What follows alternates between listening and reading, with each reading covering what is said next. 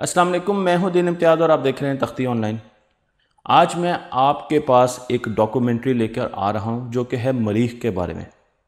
इंसान मरीख को एक्सप्लोर कर रहा है, उसको बसाने की कोशिश कर रहा है, और उसके लिए इंसान मुख्तलिफ़ किस्म के ऑर्बिटर्स और रोवर्स, यानी कि रोबोट मशीनें मरीख पर उतार रहे हैं। लेकिन ये काम कैसे हो रहा है, हम इस डॉक्यूमेंट्री में देखेंगे। इस डॉक्यूमेंट्री को मैंने छोटी छोटी वीडियो में तकसीम किया है और उन वीडियो में हम मुख्तलिफ़ चीज़ों को देख रहे होंगे। हम पहले देखेंगे कि मरीख कैसा स्यारा है, वो ज़मीन से क्यों मुख्तलिफ़ है और जो टेक्नोलॉजी हमने ज़मीन पर बनाई है, वो मरीख पर क्यों नहीं काम कर सकती? हमें अपनी टेक्नोलॉजी और डिज़ाइन में कैसे चेंजेस करनी पड़ेंगी ताकि हम मरीख पर लैंड कर सकें? इसके साथ साथ हम ये भी देखेंगे कि जब रोवर्स और shuttles space craft orbiters space में भेजे जाते हैं तो मवासलाती ज़राए कैसे इस्तेमाल किए जाते हैं? उनके साथ हम कम्युनिकेशन कैसे कर सकते हैं? हमें क्या क्या मुश्किल आती हैं? स्पेस में और फिर मरीख पर किन मुश्किल का सामना करना पड़ता है तो हम डीप स्पेस नेटवर्क्स को बड़ी डिटेल में देखेंगे। उसके साथ हम हिस्ट्री देखेंगे कि कौन कौन से रोवर्स और कौन कौन से ऑर्बिटर्स हमने मरीख पर भेजे हैं। इसमें ज़्यादातर रोवर्स और ऑर्बिटर्स वो होंगे जो कि नासा ने बनाए हैं। तो सारा डेटा जो हमने लिया है, वो नासा से लिया है।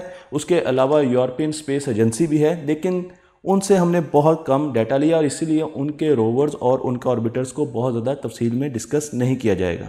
हम ये भी देखेंगे कि क्यूरोसिटी ने क्या काम किया, हम ये भी देखेंगे कि स्पिरिट और अपॉर्चुनिटी क्या काम करती रही हैं, और आज जब हमने परसवेरेंस जिसे परसी कहा जाता है रोवर मरीख पर भेजा तो वो कैसे काम कर रहा है, और फिर इंसान मरीख पर कब जाएँगे, और कैसे जाएँगे, किस किस्म की टेक्नोलॉजी इस्तेमाल होगी, इंसान मरीख पर कैसे उतरेंगे, कैसे मरीख को बसाएँगे उसे आबाद करेंगे क्योंकि मरीख पर तो ऑक्सीजन मौजूद नहीं है।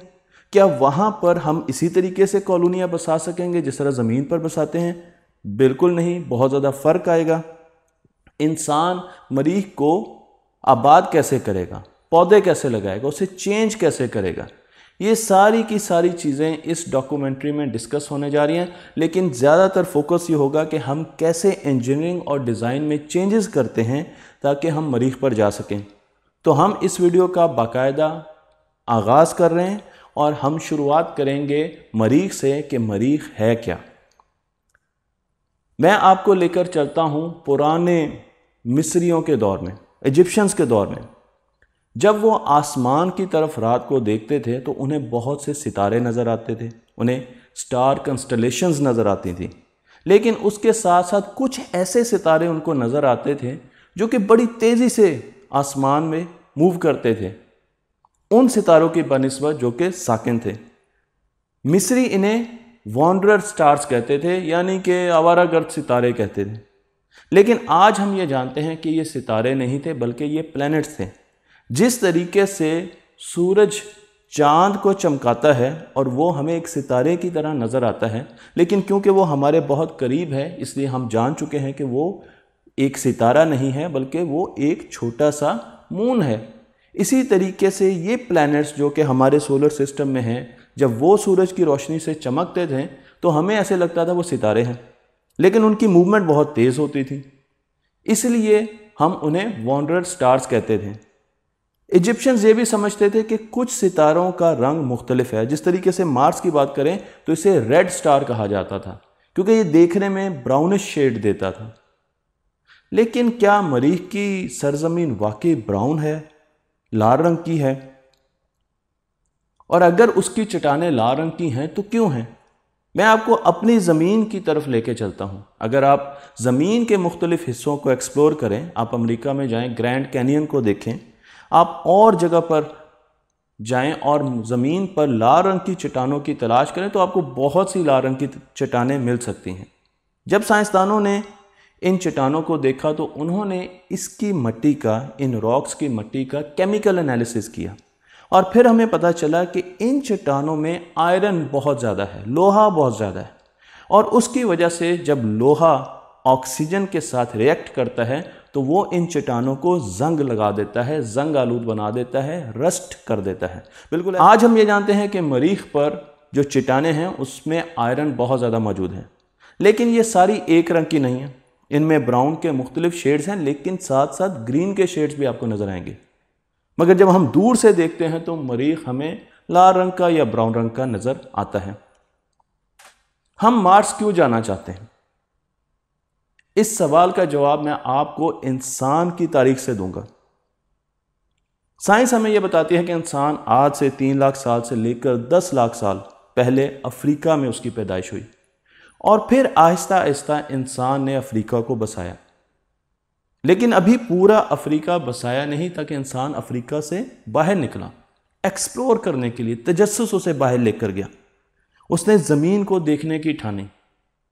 रस्ते में समंदर आ गए, दरिया आ गए तो उसने टेक्नोलॉजी का सहारा लिया। उसने जहाज़ बनाए। और जब उसने टेक्नोलॉजी के ज़रिए दरियाओं को अबूर किया, समंदरों को अबूर किया कई जगह उसे ठंड की वजह से गर्म कपड़े बनाने पड़े तो उसने ज़मीन को आहिस्ता आहिस्ता आबाद करना शुरू कर दिया। उसे ज़मीन के रिसोर्स मिलना शुरू हो गए। उसको ज़मीन से फ़वाद हासिल होना शुरू हो गए। तो इंसान ने अपनी मूवमेंट से, अपने तजस की वजह से नई नई जगह पर जाने से ये सीखा कि वहाँ पर उसे बहुत से वसाइल मिले और उससे उसको ओवरऑल अपनी ज़िंदगी बेहतर बनाने के मौाक़े मिले। इसीलिए आज जब हम ज़मीन पर पूरे तरीके से फैल चुके हैं तो हम स्पेस की तरफ़ देख रहे हैं। हम मरीख जाने की कोशिश कर रहे हैं, ताकि हम अगला स्टेप ले सकें और इंसान की क्यूरोसिटी उसे इस तरफ़ धकेल रही है। मैं अब आपको मरीख के बारे में कुछ बताता चलूँ कि मरीख ही को क्यों हमने चुना। अगर आप सोलर सिस्टम्स में प्लैनेट्स को देखें तो जो आखिरी चार प्लैनेट्स हैं, जिसमें जुपिटर है नेपच्यून है सैटर्न है यूरेनस है ये गैस के बने हुए प्लैनेट्स हैं। इन प्लैनेट्स पर इंसान आबाद नहीं हो सकता। इस वक्त तो हमारे पास ऐसी टेक्नोलॉजी नहीं है। इसलिए इन पर जाना, इनको एक्सप्लोर तो किया जा रहा है मुख्तलिफ़ ऑर्बिटर से, लेकिन इंसान इन पर आबाद नहीं हो सकता। चलें, हम दुनिया की दूसरी तरफ़ चलते हैं, सूरज के करीब। तो हम जाएँगे मरकरी की तरफ़। लेकिन मरकरी सूरज के बहुत ज़्यादा करीब है। इसलिए दिन को इस पर बहुत ज़्यादा दर्जा हरारत होता है और रात को इस पर बहुत ज़्यादा ठंड होती है। अगर आप मरकरी की बात करें तो इसका टेम्परेचर 170 सेंटीग्रेड से लेकर, यानी मनफी 170 सेंटीग्रेड से लेकर 448 सेंटीग्रेड तक रात और दिन में इसका डिफरेंस आता है। तो इतने ज़्यादा टेम्परेचर डिफरेंस पर इंसान नहीं रह सकता। और उसके साथ साथ मरकरी की आबो हवा भी नहीं है, इसका एटमॉस्फेयर ही नहीं है। ये भी इंसान के लिए एक बहुत बड़ा मसला है। अब हम मरकरी पर भी नहीं जा सकते तो चलें, हम बात करते हैं वीनस की। वीनस हमारे सोलर सिस्टम का सबसे ज़्यादा दर्जा हरारत रखने वाला प्लानट है। हालाँकि ये सूरज से दूर है मरकरी की नस्बत, लेकिन इसका दर्जा हरारत चार सौ पैंसठ सेंटीग्रेड होता है। इस पर बहुत बड़ी एटमॉस्फेयर की लेयर है, जो कि ज़मीन से 93 परसेंट तिरानवे फ़ीसद ज़्यादा वज़न रखती है, भारी है। और इसी वजह से इस पर सल्फ्यूरिक एसिड की बारिश होती है। तो जहाँ पर सल्फ्यूरिक एसिड की बारिश हो रही हो, वहाँ पर आप ज़िंदगी कैसे गुजार सकते हैं? तो रहकर हमारे पास मरीख ही बचता है। तो अब हम मरीख की तरफ़ चलते हैं कि मरीख को अगर हमने आबाद करना है तो उसके बारे में पता भी होना चाहिए। मरीख पर ग्रेविटी अड़तीस फ़ीसद कम है ज़मीन से, जिसकी तफसील मैं आपको बताऊँगा। इसका मतलब यह है कि आपका वज़न वहाँ पर अड़तीस फ़ीसद कम होगा। तो आप वहाँ पर बास्केटबॉल बहुत अच्छे तरीके से खेल सकेंगे। आप वहाँ पर लंबी लंबी छलांगे लगा सकते हैं। मरीख हमारे सोलर सिस्टम का मरकरी के बाद सबसे छोटा सियारा है। और इसकी जो लैंड है, वो हमारी ज़मीन की लैंड से बहुत कम है। इसलिए हमें लैंड ज़्यादा नहीं मिलेगी जब हम मरीख पर जाएँगे। और इसकी जो एटमॉस्फेयर है, वो एक परसेंट है ज़मीन के।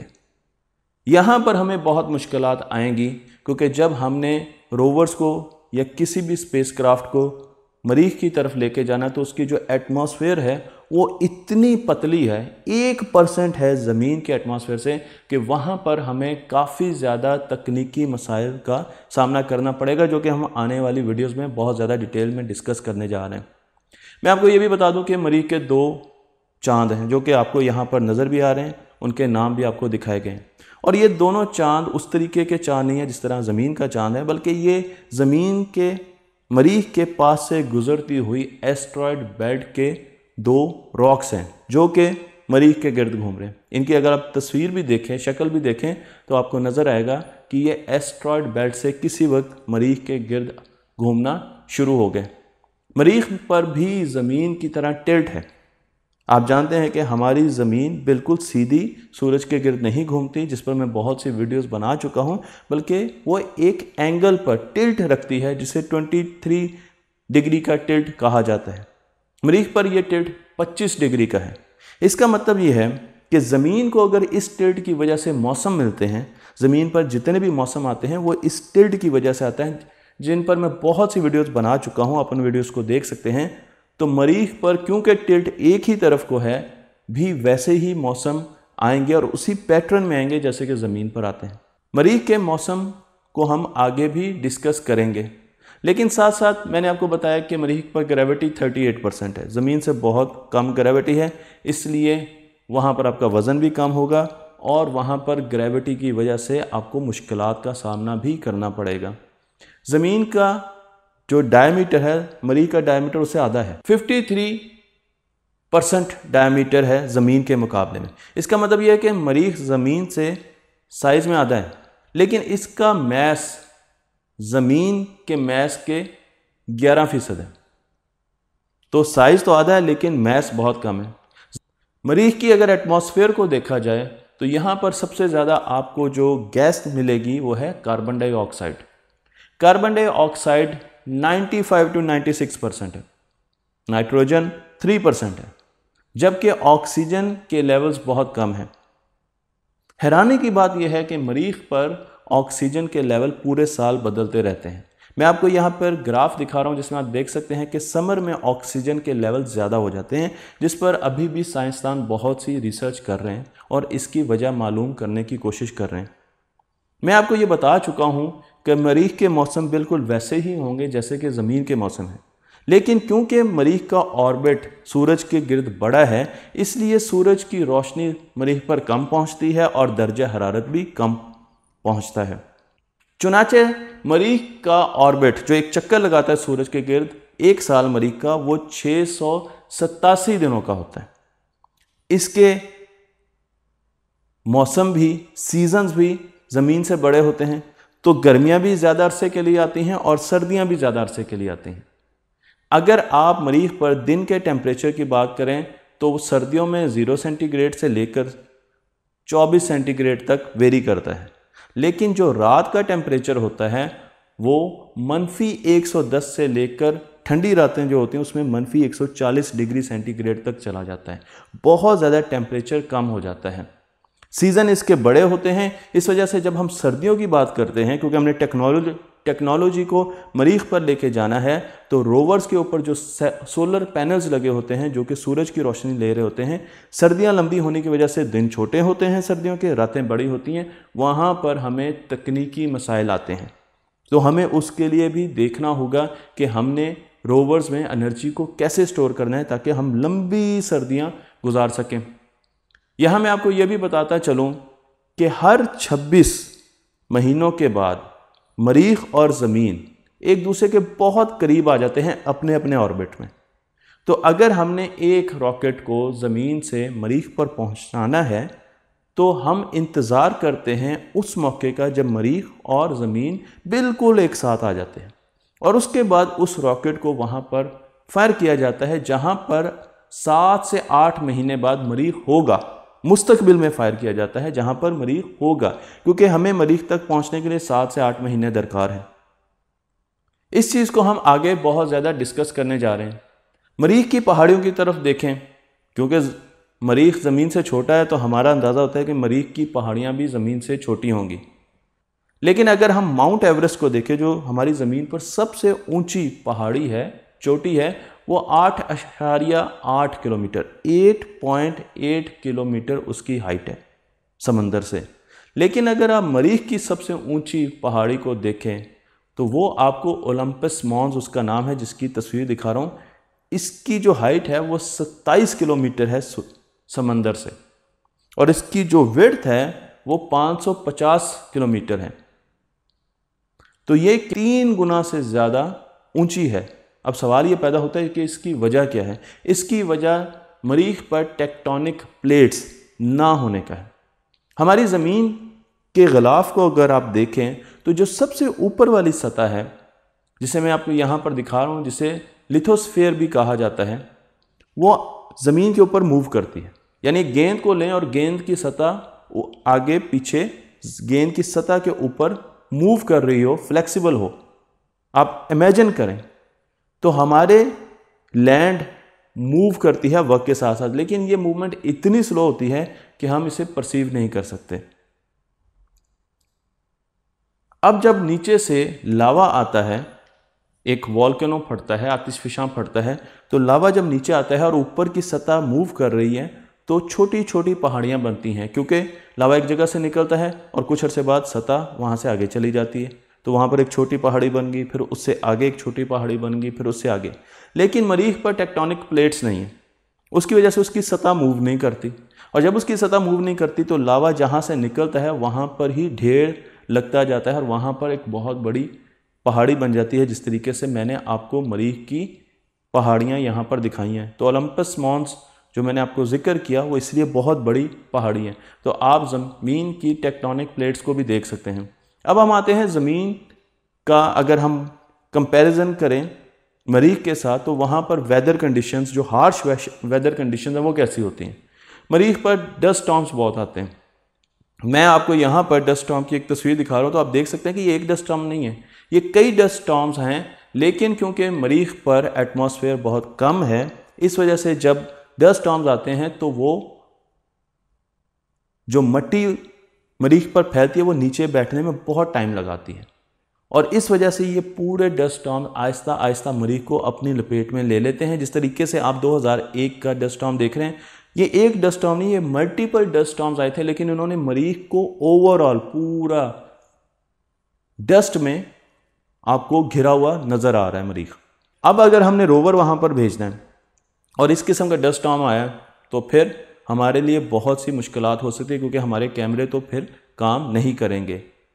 मरीख पर बादल जमे हुए होते हैं टेम्परेचर बहुत ज़्यादा कम होता है, और आपने अगर वहाँ पर रोबर रोवर भेजा है, या वहाँ पर आपने एक स्पेस क्राफ्ट को उतारना है, और बादल जमे हुए टकरा रहे हैं तो वहाँ पर भी बहुत ज़्यादा मसाइल आ सकते हैं। मरीख पर साइक्लॉन्स भी आते हैं, मैं आपको यहाँ पर एक साइक्लॉन की तस्वीर भी दिखा रहा हूँ।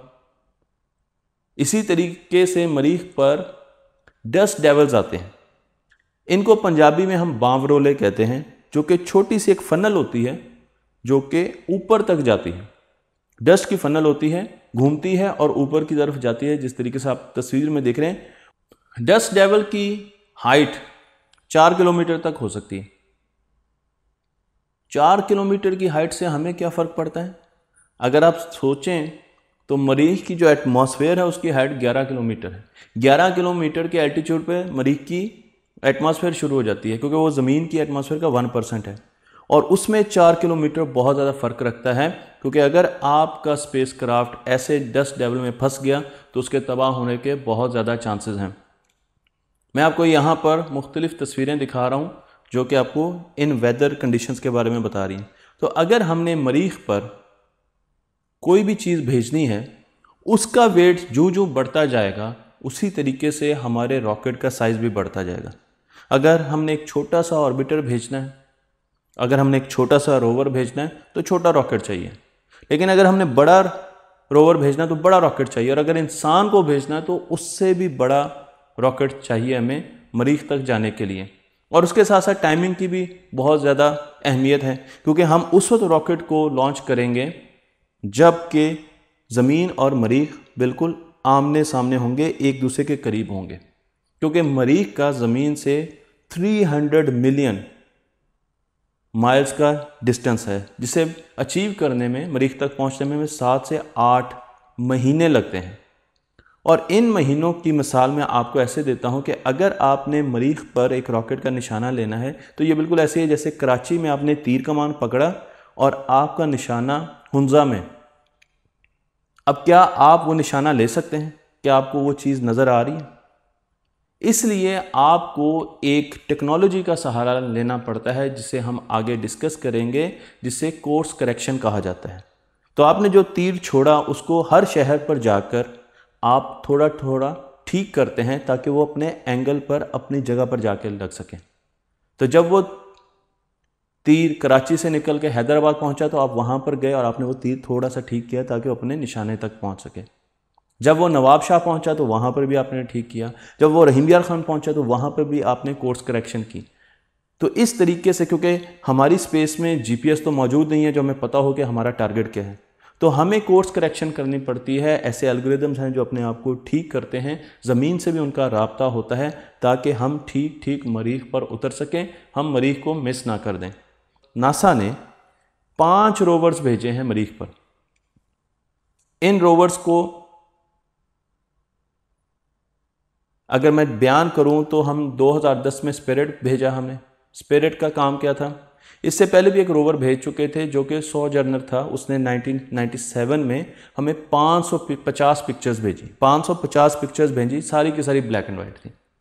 उसके बाद फिर हमने स्पिरिट को भेजा और हमने कहा कि हमें कलर्ड पिक्चर्स चाहिए ताकि हम मरीज़ को अच्छे तरीके से देख सकें।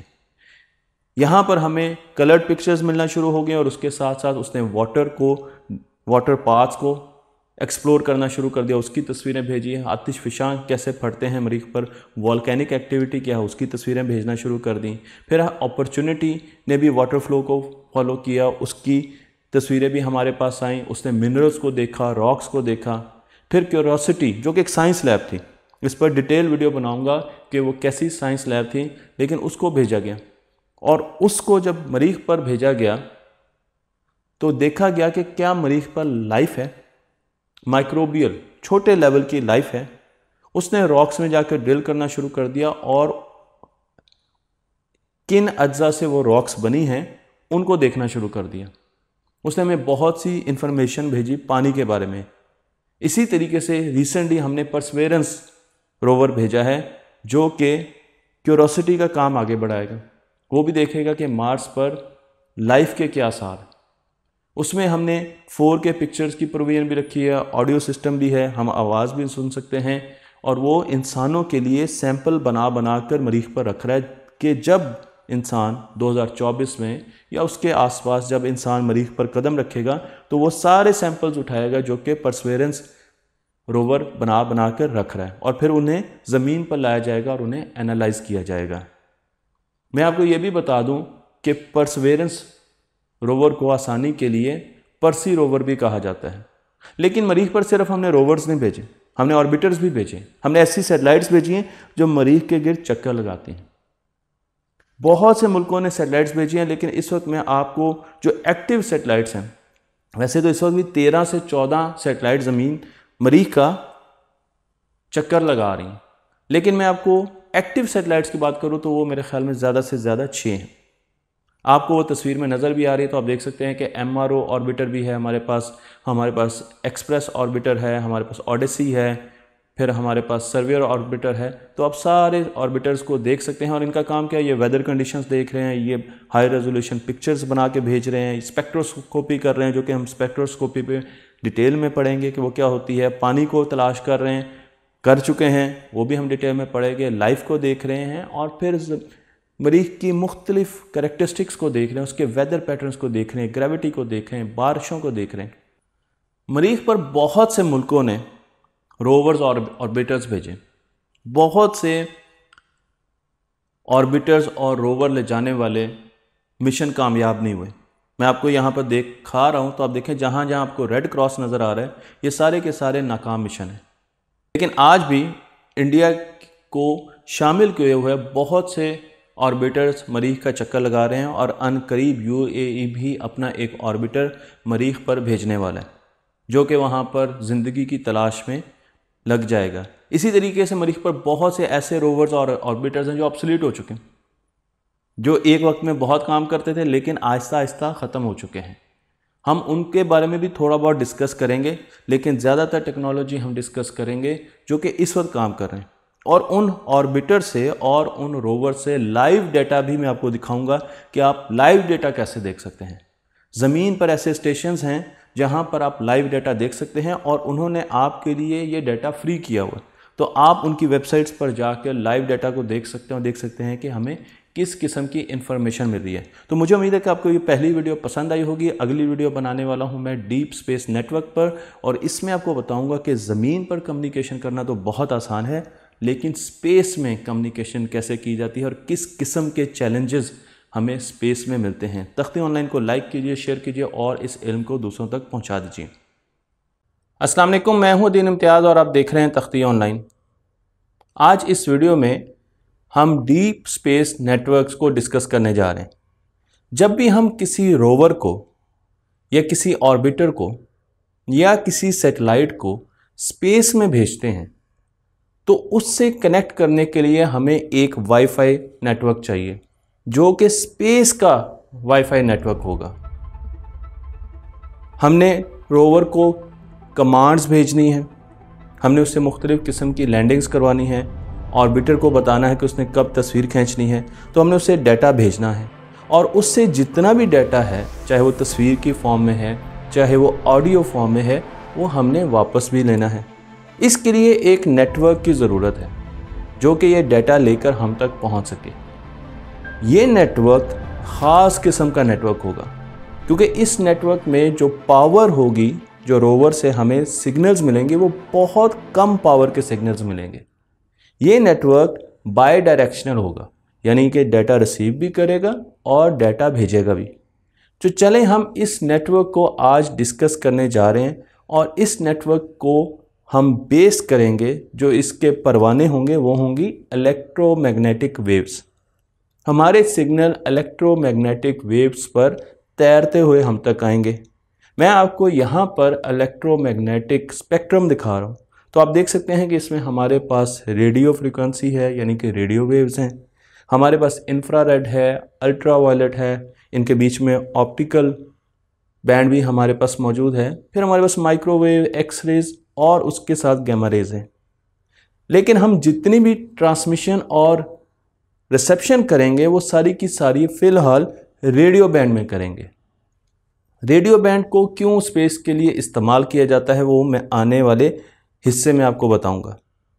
लेकिन फ़िलहाल आप समझ लें कि हम जितनी भी ट्रांसमिशन माजी में करते रहे हैं डीप स्पेस नेटवर्क और स्पेस के मुख्तलिफ़ और नेटवर्क्स के माबैन, वो रेडियो स्पेक्ट्रम में लाइक करते हैं। जब भी हम इलेक्ट्रोमैग्नेटिक वेव को स्पेस में भेजते हैं तो हमें एक फिनोमिना का सामना करना पड़ता है, जिसे इन्वर्स स्क्वेयर लॉ ही सबसे बेहतरीन तरीके से बताता है। हमें ये पता है, इस पर मैं बहुत सी वीडियो बता, बना चुका हूँ, कि इलेक्ट्रोमैग्नेटिक वेव की इंटेंसिटी सोर्स और रिसीवर के बीच में डिस्टेंस का स्क्वायर के साथ कम होती है। ये चीज़ आप इस जगह एक तस्वीर से भी देख सकते हैं कि intensity is inversely proportional to the square of the distance between the receiver and the transmitter अब ये इतना अहम एक असूल है, इसकी वजह से जितनी कम्प्लेक्सिटी प्रोड्यूस होती है वो मैं आपको यहाँ पर दिखाने जा रहा हूँ। तो आप देख सकते हैं कि अगर मेरे पास एक इलेक्ट्रोमैग्नेटिक ट्रांसमीटर है और हम यहाँ पर उसकी इंटेंसिटी मेजर कर रहे हैं वन मीटर पर मीटर मैंने यूनिट अपने तौर पर इस्तेमाल किया है अज्यूम किया है इस पिक्चर में। तो जब आप दो मीटर के फासले पर जाएँगे तो ये इंटेंसिटी कितनी रह जाएगी? पच्चीस फ़ीसद। जब आप तीन मीटर पर जाएँगे तो ये इंटेंसिटी ग्यारह फ़ीसद रह जाएगी। सिग्नल आहिस्ता आहिस्ता बहुत तेज़ी से नॉन लीनियर तरीके से डिके कर रहा है। और यही चीज़ हमें मसला करती है स्पेस में। स्पेस में डिस्टेंसेस बहुत बड़े होते हैं और उसकी वजह से सिग्नल की जो डिके होता है, उसकी जो इंटेंसिटी कम होती है, वो बहुत तेज़ी से होती है। इस तस्वीर में जो E डिवाइडेड बाय N आपको एक फैक्टर नज़र आ रहा है, वो है सिग्नल टू नॉइज़ रेशो ये जितना ज़्यादा होगा, उतना ही हमारा सिग्नल ताकतवर होगा, क्योंकि सिग्नल बढ़ता जा रहा है। और अगर नॉइज़ बहुत ज़्यादा ताकतवर होगी तो ये पूरा फैक्टर या रेशो कम होगी। और अगर आप इसको देखें तो उसके साथ जो फॉर्मूला है, उसमें डी स्क्वायर आ रहा है डिनोमिनेटर में। उसका मतलब यह है कि डी स्क्वायर के साथ signal to noise ratio decay कर रही है, कम हो रही है। तो अगर मैं जियो स्टेशनरी सेटेलाइट, जो कि ज़मीन के गिर्द छत्तीस हज़ार किलोमीटर के एल्टीट्यूड पर ज़मीन के साथ साथ मूव कर रही हैं, उसको अपनी बेस लाइन ले लूँ। उसे 100 परसेंट सिग्नल हम समझते हैं कि वहाँ पर अगर हमने सिग्नल मेजर किया वो 100 परसेंट है तो उसके बाद जब हमारा सिग्नल चाँद पर जाएगा, क्योंकि हमारा रिसीवर चाँद पर है, आपने एक रोवर चाँद पर भेजा तो 100 गुना ज़्यादा सिग्नल डिके करेगा। यानी 100 गुना ज़्यादा कम्प्लेक्सिटी का सामना करना पड़ेगा।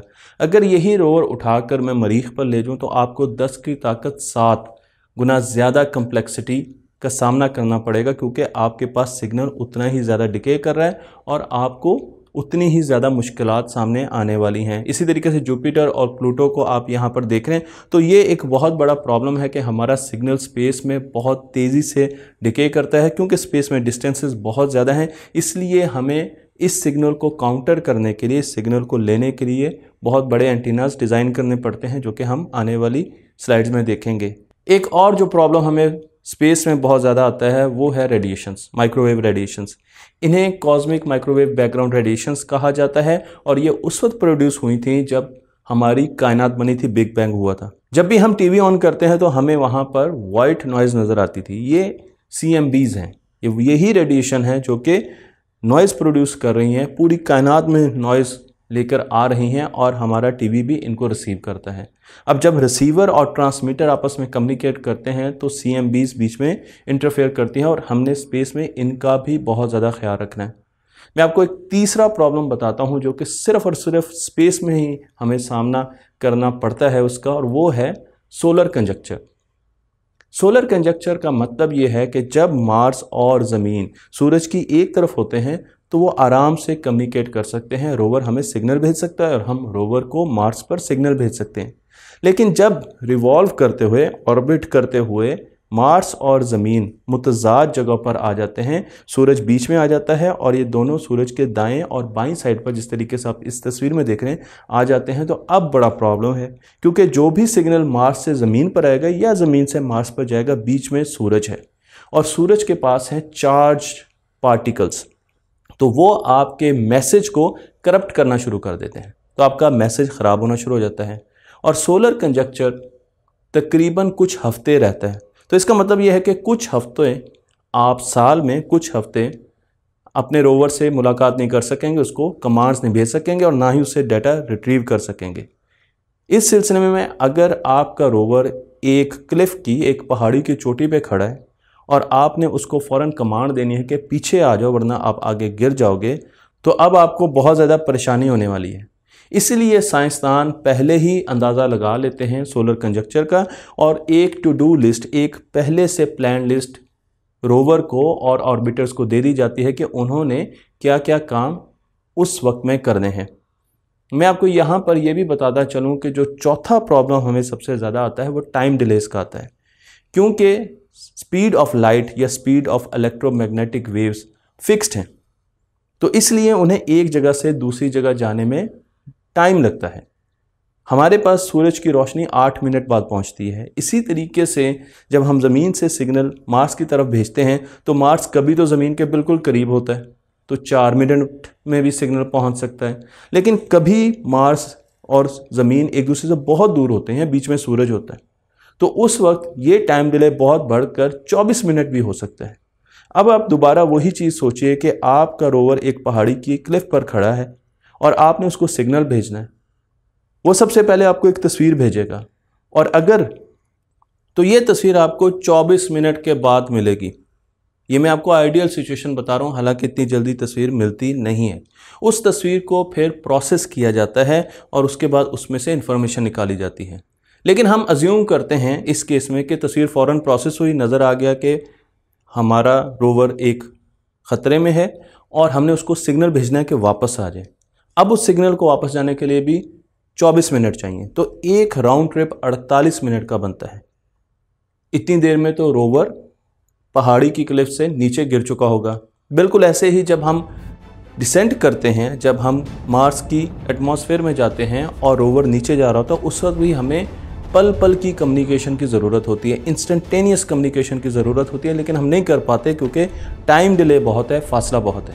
इसलिए रोवर में पहले ही वो इन्फॉर्मेशन दे दी जाती है, उसकी टू डू लिस्ट दे दी जाती है कि उसने कैसे मार्स पर नीचे ज़मीन पर उतरना है। तो ये एक बहुत बड़ा मसला है कि हमारा जो टाइम है टाइम डिले बहुत ज़्यादा है, इसीलिए हम प्री लोडेड कमांड्स दे देते हैं हमने artificially intelligent AI based chips लगा दी हैं और उस रोवर को ऑटोनोमस भी बना दिया है कि वो अपने फैसले खुद भी कर सकता है। अब हम डिस्कस करने जा रहे हैं कम्युनिकेशन को। जब भी एक रोवर मार्स पर तस्वीर खींचता है तो मैं आपको उस तस्वीर को यहाँ पर दिखा रहा हूँ कि तस्वीर भी डेटा होती है नंबर्स होती है। आप इस वक्त तस्वीर देख रहे हैं, गोया कि ये मार्स की तस्वीर नहीं है, लेकिन आपको बताने के लिए कि इसे हमने एक मैट्रिक्स में डिवाइड किया है। और जहाँ पर रोशनी की इंटेंसिटी बहुत कम है वहाँ पर नंबर दिया है ज़ीरो और जहाँ पर रोशनी की इंटेंसिटी बहुत ज़्यादा है वहाँ पर 98, 97 आपको कई नंबर नज़र आ रहे हैं। अब इन नंबर्स को बाइनरीज में कन्वर्ट किया जाता है। यानी तस्वीर के डेटे को हम बाइनरी फॉर्म में ज़ीरो वन फॉर्म में कन्वर्ट करते हैं और उसके बाद एक इलेक्ट्रोमैग्नेटिक वेव लेते हैं और उन पर सवार कर दिया जाता है। वो इलेक्ट्रोमैग्नेटिक वेव वहाँ से ट्रांसमिट की जाती है, जो कि ज़मीन पर आती है और फिर हम उसे रिसीव कर लेते हैं। जब ये डेटा हम तक पहुँचता है तो इसमें कई किस्म के एरर आ चुके होते हैं। इसीलिए नासा मुख्तलिफ़ किस्म की एरर करेक्शन टेक्निक्स या एल्गोरिदम्स इस्तेमाल करती हैं इन एरर्स को निकालने के लिए। मैं आपको यहाँ पर एक एरर करेक्शन कोड दिखा रहा हूँ, जिसे हैमिंग एरर करेक्शन कोड कहा जाता है, जो कि नासा इस्तेमाल करता है। और इसको समझाने के लिए मैंने एक पिक्चर ली है। आप तीन दायरे देख सकते हैं। रूल ये है कि हर दायरे में इवन नंबर्स ऑफ़ वन होंगे। वन या तो दो हो सकते हैं, या चार हो सकते हैं, या छः हो सकते हैं। इससे ज़्यादा नहीं हो सकते। तो हमने दो दो एक भरकर इन नंबर इन सर्कल्स में रोवर ने ज़मीन पर भेज दिए। अब कुछ ऐसा हुआ कि एक एरर आ गया और एरर कहाँ पर आया? डी टू में आ गया। हम फ़र्ज़ करते हैं कि डी टू की जो बेट थी वो ज़ीरो से वन होगी आपको यहाँ पर तो नहीं दिखाया गया, लेकिन आपने फ़र्ज़ करना है। अब जब डी टू की बेट वन हुई तो आपके पास जो ग्रीन सर्कल है, उसमें तीन एक आ गए। इसी तरीके से जो आपके पास पिंक सर्कल उसमें भी तीन ए आ गए। अब देखने वाले को फ़ौर अंदाज़ा हो जाएगा कि इन सर्कल्स में कोई इशू आया, क्योंकि जो पर्पल सर्कल है, उसमें तो चार नंबर चार वन आ रहे हैं तो उसमें तो अभी भी इवन नंबर ऑफ़ वंस हमारे पास मौजूद हैं। अब ग्रीन और पर्पल में इशू है, इनमें दो चीज़ें कॉमन है डी फोर कॉमन है और डी टू कॉमन है। अगर आप डी फोर को समझें कि इसकी वन बिट गलती से आई और इसको ज़ीरो कर दें तो अब फिर आप इसी रूल को फॉलो करके ज़रा कैलकुलेट करें तो आपको फिर तीनों सर्कल में इवन नंबर ऑफ़ बिट्स नहीं मिलेंगी। लेकिन अगर आप डी टू को वन की बजाय ज़ीरो कर देंगे तो फिर आपका रूल जो कहता है कि एक सर्कल में इवन नंबर ऑफ़ बिट्स होने, वो बिल्कुल अप्लाई कर जाएगा और आपको फ़ौरन पता लग जाएगा कि डी टू वो पेट थी जो कि गलती से वन हुई।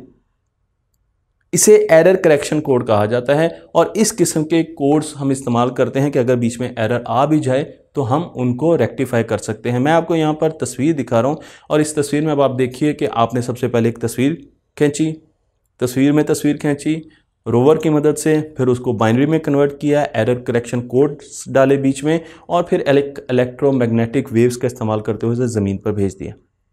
यहाँ पर उसको डिकोड किया गया, और फिर उससे डाटा अखज़ किया गया, और उसको प्रोसेस किया गया। लेकिन ये इलेक्ट्रोमैग्नेटिक वेव बहुत कम पावर की होती है। इसकी पावर एक, जो क्यूरोसिटी हमारे पास रोवर है, उसका जो सिग्नल की पावर है, वो आपके फ्रिज में लगे हुए बल्ब से भी कम है।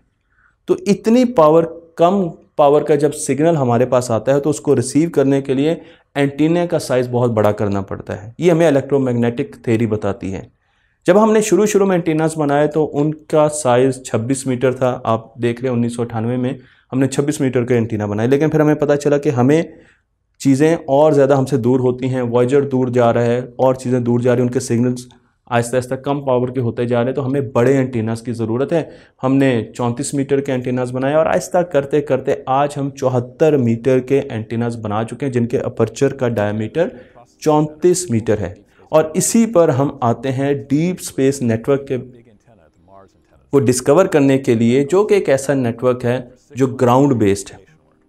हमने ज़मीन पर तीन ऐसी जगह, ऐसे शहर का इंतखब किया जो कि एक अमेरिका में है, एक स्पेन में है और एक ऑस्ट्रेलिया में है। आप अगर ऊपर से इनको देखें तो इनमें 120 डिग्री का फ़र्क है।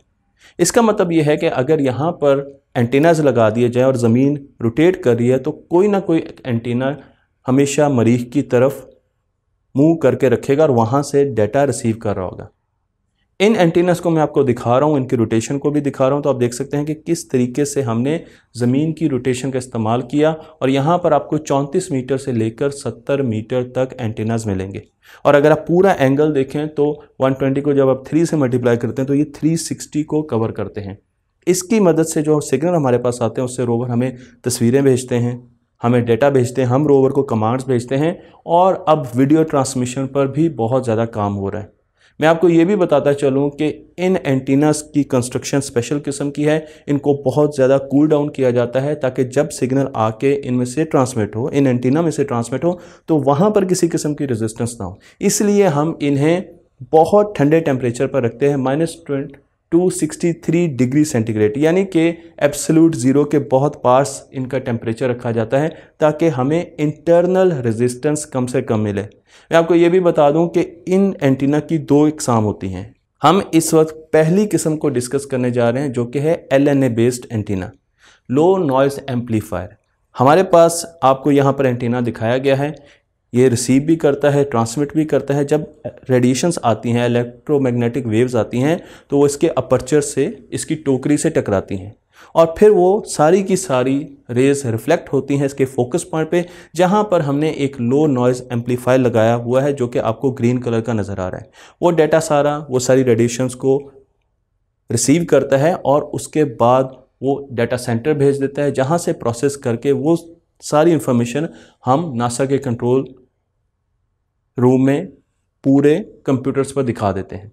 लेकिन याद रखें कि साथ साथ वाइट नॉइज़ भी आ रही है साथ साथ सी भी आ रही हैं। तो हम अपर्चर इस तरीके से डिज़ाइन करते हैं कि उस डायरेक्शन से जिस तरफ़ मार्स है, उस तरफ़ से तो जितनी भी रेडिएशंस आए वो सारी की सारी फोकस हो जाएँ फोकस पॉइंट पर। लेकिन जो बाकी जितनी भी डायरेक्शन है, हमारे पास रेड कलर का डाटा आ रहा है, जो कि नॉइज़ है वो फोकस पॉइंट पर ना जाए, वो बल्कि डाइवर्ज हो जाए इधर उधर फैल जाए। इसलिए नॉइज़ बहुत ज़्यादा हमें प्रॉब्लम नहीं करती। मैं आपको यहाँ पर इस एंटीने की मुख्तलिफ़ तस्वीरें दिखा रहा हूँ। तो इस एंटीने के प्रॉब्लम ये है, जो कि जिसके ऊपर एल एन ए लगा होता है कि एल एन ए जब बड़ा होता जाता है तो उसकी वजह से जो नीचे टोकरी है, जो अपर्चर है, उसमें बहुत ज़्यादा सिग्नल्स नहीं आ सकते। रेडिएशंस रिस्ट्रिक्ट हो जाती हैं। इसलिए ये एक बहुत बड़ा प्रॉब्लम है कि हम एलएनए का साइज़ बड़ा नहीं कर सकते। ये बहुत बड़ा एंटीना होता है, इसकी मूवमेंट देखनी पड़ती है, इसकी मेंटेनेंस देखनी पड़ती है, क्योंकि इसका साइज़ बहुत ज़्यादा बड़ा होता है। तो वेदर कंडीशंस बहुत देखी जाती हैं, इसलिए हमने इसके डिज़ाइन को इम्प्रूव किया।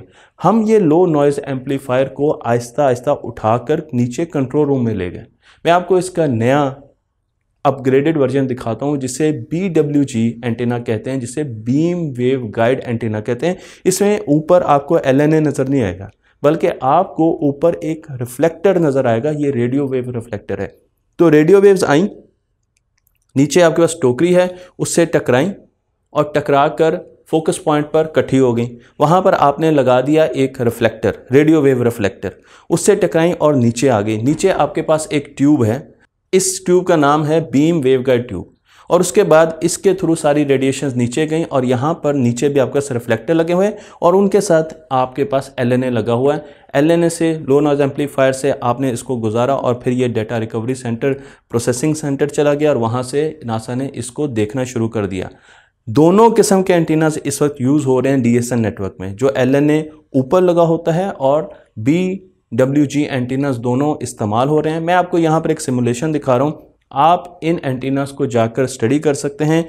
आप इनकी लाइव फ़ीड देख सकते हैं। नासा ने सारी चीज़ें ओपन करके आपके लिए रखी हुई हैं। आप देखें तो इस वेबसाइट पर अगर आप जाएँगे तो आप तीनों डीएसएन सेंटर्स पर जा सकते हैं और देख सकते हैं कि किस किस्म का डाटा आ रहा है। तो मैं आपको यहाँ पर एक वीडियो दिखा रहा हूँ और आप देखें कि यहाँ पर हमारे पास स्पेन में भी एंटेनाज लगे हुए हैं। उनके नीचे नंबर है 63, 65, 54 इसी तरीके से हमारे पास अमेरिका और ऑस्ट्रेलिया में एंटीनाज लगे हैं। राइट साइड पे आपको तस्वीरें नज़र आ रही हैं एंटीना की फिर आपको सेटेलाइट की भी नज़र आएँगी।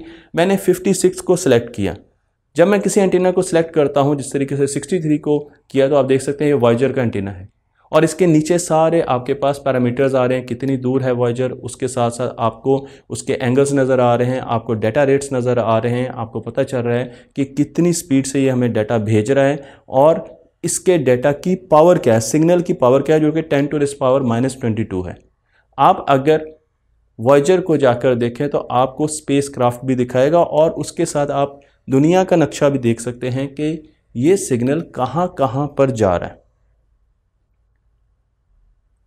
इसी तरीके से जब हम दूसरे नेटवर्क्स को देखते हैं, मसलन मैं आपको यहाँ पर चंद्रा लैब भी दिखा रहा हूँ तो आप वहाँ पर भी देख सकते हैं, आपके पास यही पैरामीटर्स आएँगे। आपने ज़रूर इसको विज़िट करना है और ये इन तमाम पैरामीटर्स को देखना है पावर सिग्नल्स को देखना है, कितनी पावर है डिस्टेंस कितना है, क्यों इतनी कम पावर आ रही है, और फिर आप सेटेलाइट्स को ट्रैक भी कर सकते हैं। मैं आपको मार्स की तरफ़ लेके जाता हूँ। मार्स को अगर आप देखें तो इस वक्त ट्वेंटी फाइव नंबर एंटीना पर मार्स आ रहा है अमेरिका में। जब मैंने ये वीडियो बनाई और आप देख सकते हैं कि यहाँ पर आपके पास मार्स ऑडिसी का डाटा आ रहा है। आप मार्स ऑडिसी को नीचे लेके जाएँगे तो आपके पास सारा डाटा आहिस्ता आहिस्ता ऊपर आता जाएगा और उसके बाद अगला ऑर्बिटर आ जाएगा। ये ऑर्बिटर है जो मार्स के गिर्द घूम रहा है और आपको डाटा दे रहा है। तो अब आपने देखना है तो आपके पास एमआरओ, मार्स एमआरओ आ जाएगा ऑर्बिटर आ जाएगा, आप उसका डाटा भी देख सकते हैं।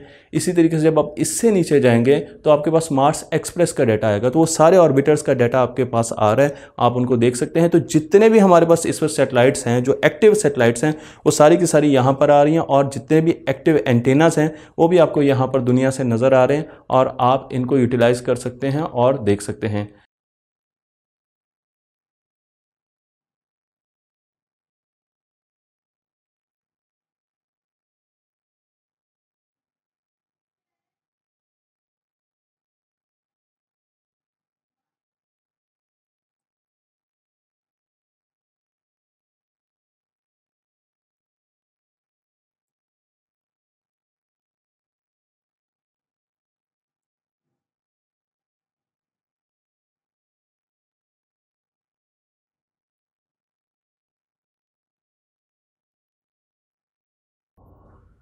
अस्सलाम वालेकुम, मैं हूँ दीन इम्तियाज़ और आप देख रहे हैं तख्ती ऑनलाइन।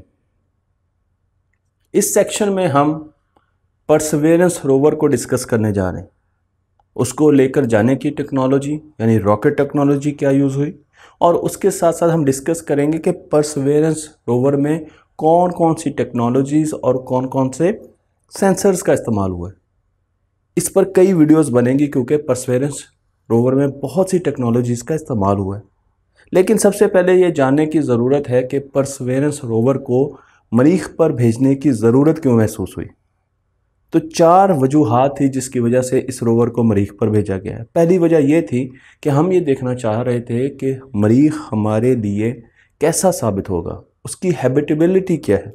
वहाँ पर जाकर अगर हम रहें तो वो कैसा स्यारा हमारे लिए साबित होगा? तो हम उसको एक्सप्लोर करना चाहते हैं। दूसरी बात यह है कि हम वहाँ पर बायो सिग्नेचर देखना चाहते हैं। हम ये देखना चाहते हैं कि क्या कभी मरीख पर ज़िंदगी रही है? अगर वो ज़िंदगी रही है तो किस किस्म की है?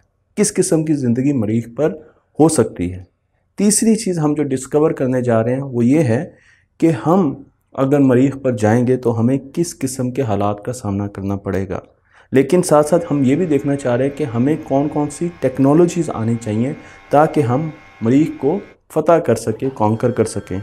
और उसके साथ चौथा अहम पॉइंट ये है कि हम मरीख पर जब इन रोवर्स को भेजते हैं तो ये वहाँ के सैंपल्स कैश करके, यानी संभाल के रख देते हैं मरीख की ज़मीन पर। और जब इंसान वहाँ पर जाएँगे तो वो इन सैंपल्स को वापस ज़मीन पर लेकर आएँगे और फिर हम उन पर रिसर्च कर सकते हैं। तो जब भी हमने किसी रोवर को मरीख पर भेजना होता है तो सबसे पहला जो काम होता है, वो उसकी हम साइट सिलेक्शन करते हैं, किस जगह पर भेजना है, और उसके कई मैार हैं, कई मेट्रिक्स हैं कि किस जगह पर उस रोवर को हमने उतारना है। तो मैं आपको वो मैार यहाँ पर जल्दी जल्दी बताता रहता हूँ। सबसे पहले बात ये होती है कि हमने ये देखना है कि मरीख की जो एटमॉस्फेयर है, वो हमारी एटमॉस्फेयर का तो एक फ़ीसद है। इसका मतलब यह है कि हम बहुत देर से मरीख की एटमॉस्फेयर में दाखिल होंगे और बहुत जल्दी उसकी सतह आ जाएगी। तो हमारे लैंडर को रुकने के लिए स्पीड स्लो करने के लिए टाइम नहीं मिलेगा। तो इसलिए हम ज़मीन, मरीख की ज़मीन के उस हिस्से का इंतखब करते हैं जो कि गहरा हो। और इसीलिए हमने कई ऐसे क्रेटर्स का इस्तेमाल किया, उनका इंतखब किया जो नीचे थे, निचली सतह पर थे। तो सबसे पहला पॉइंट यह है कि हम ऐसी जगह पर इस्तेमाल करेंगे जो कि लो एलिवेशन पर होगी। दूसरी चीज़ यह है कि हमने कोई भी रोवर किसी स्लोप पर नहीं उतारना। तो ऐसा नहीं होना चाहिए कि किसी पहाड़ी पर रोवर को उतार दे और वो बेचारा नीचे ही गिरता रहे। तो ये देखना है कि फ्लैट ज़मीन होनी चाहिए और उसके साथ साथ जो ज़मीन फ्लैट हो, उस पर चटाने कम से कम होनी चाहिए, ताकि डिसेंट के दौरान या लैंडिंग के दौरान रोवर किसी चट्टान से टकरा कर डैमेज ना हो सके। हमने ये भी देखना है कि बहुत ज़्यादा डस्टी ग्राउंड भी नहीं होना चाहिए कि पता चले कि रोवर धंस गया है और उससे निकला ही नहीं जा रहा। हम ये भी देखते हैं कि इक्वेटर के पास रोवर को उतारें, क्योंकि इक्वेटर के पास टेम्परेचर्स बड़े नॉर्मल होते हैं, एक किस्म का टेम्परेचर रहता है। ज़मीन पर भी यही सूरत हाल है और मरीख पर भी यही सूरत हाल है। तो गर्मियाँ और सर्दियाँ टेम्परेचर का कम डिफरेंस होगा, इसलिए हम चाहते हैं कि हमारी इंस्ट्रूमेंटेशन ज़्यादा अरसे तक वहाँ काम कर सकें। इक्वेटर का में एक फ़ायदा ये भी होता है कि वहाँ पर सोलर एनर्जी बहुत मौजूद होती है। सन ज़्यादा अरसे तक रहता है। इसलिए सोलर पैनल्स का इस्तेमाल हम बहुत अच्छे तरीके से कर सकते हैं। इसलिए भी हम इक्वेटर को तरजीह देते हैं। और आखिरी चीज़ जो सबसे अहम पॉइंट है वो ये है कि हमने उस जगह के करीब अपना रोवर उतारना है जो कि हमारा पॉइंट ऑफ़ इंटरेस्ट है, जिसको हम एक्सप्लोर करना चाहते हैं। तो परसवेरेंस के लिए हमारा पॉइंट ऑफ़ इंटरेस्ट था जजेरो क्रेटर ये एक ऐसा क्रेटर है जो शायद बहुत अरसे पहले किसी स्पेस रॉक के आके लगने की वजह से प्रोड्यूस हो। और आप देख सकते हैं कि ये 45 किलोमीटर वाइड इसका रेडियस है और ये तकरीबन तीन अशारिया पाँच बिलियन साल पहले हम ये समझते हैं कि इस पर पानी मौजूद था। एक रिवर बह रहा था और आगे एक झील थी, एक तालाब था। और आपको यहाँ पर तस्वीरों में भी नज़र आएगा कि ये एक रिवर के डेल्टे की तरह हमें मालूम होता है। इसलिए हम इस पर बहुत ज़्यादा फोकस थे क्योंकि अगर यहाँ पर पानी है तो हो सकता है कि यहाँ पर लाइफ भी रही होगी और उस लाइफ के बाकी निशानात फॉसल्स हमें मिल सकते हैं।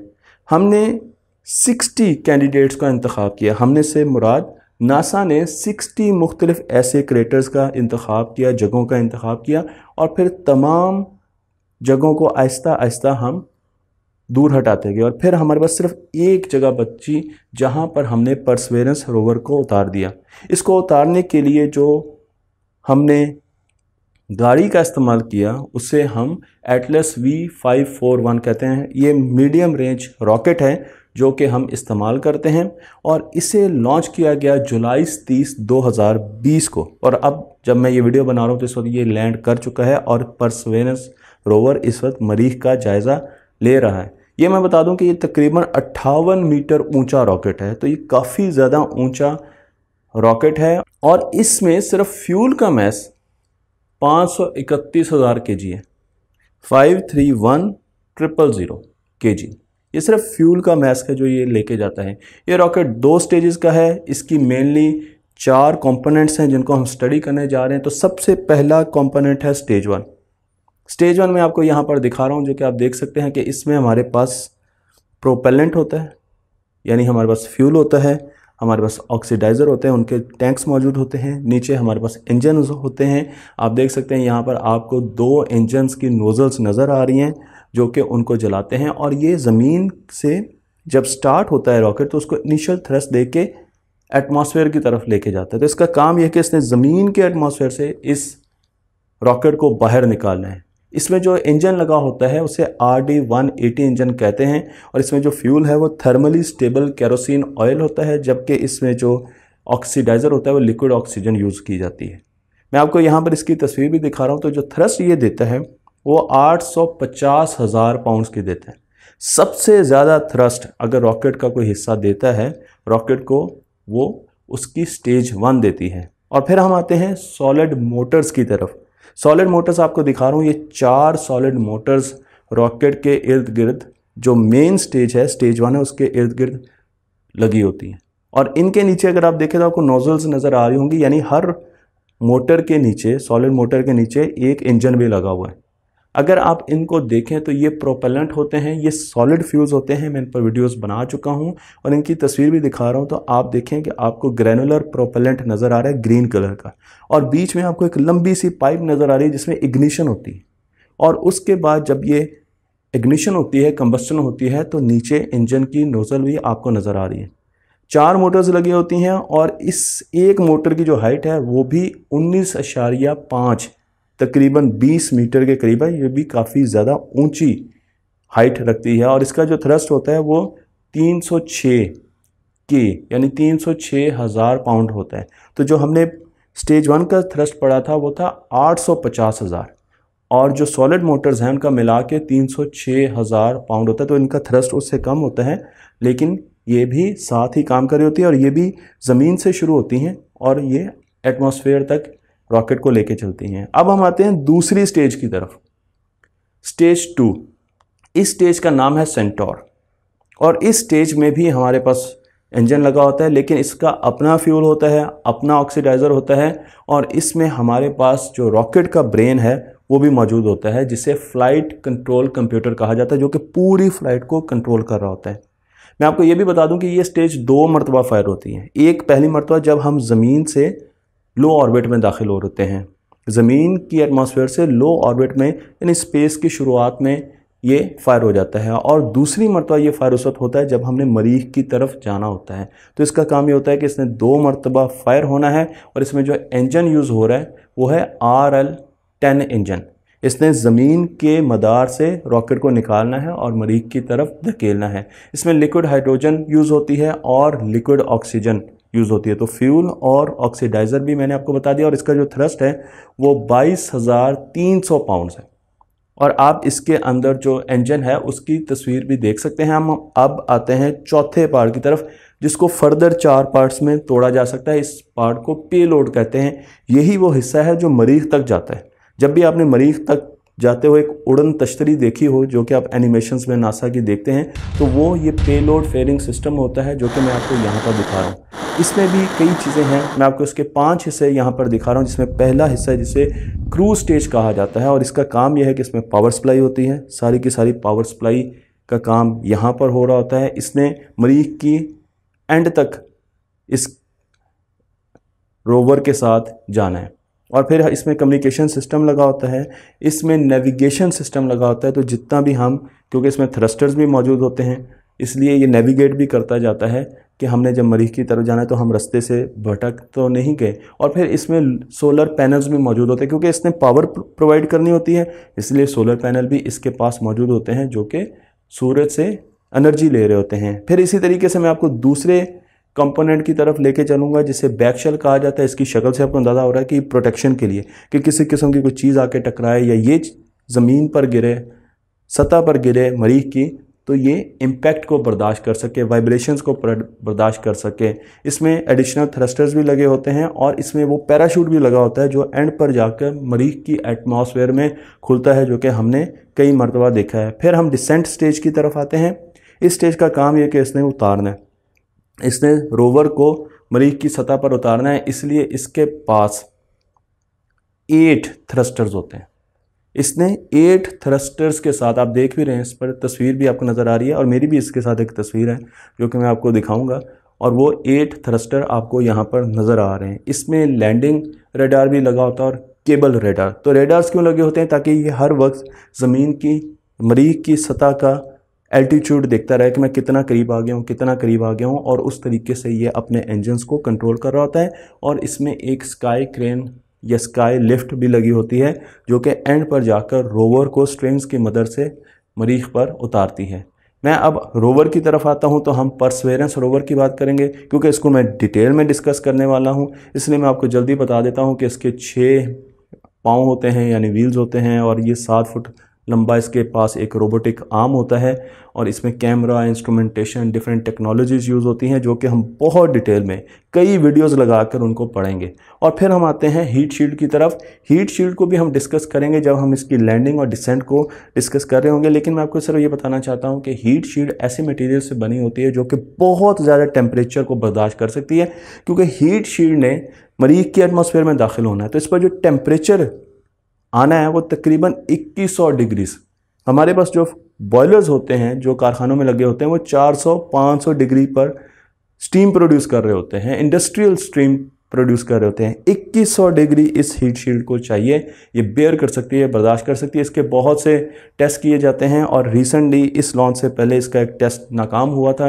हीट शील्ड मैं आपको दिखा रहा हूँ, आप देख सकते हैं वो डैमेज हो गई थी और बहुत ज़्यादा कंसर्न थे कि क्या इस हीट शील्ड इस हीट शील्ड के साथ इस रोवर को भेजा जाए और फिर नासा ने डिसाइड किया कि हमें इसको भेजना चाहिए।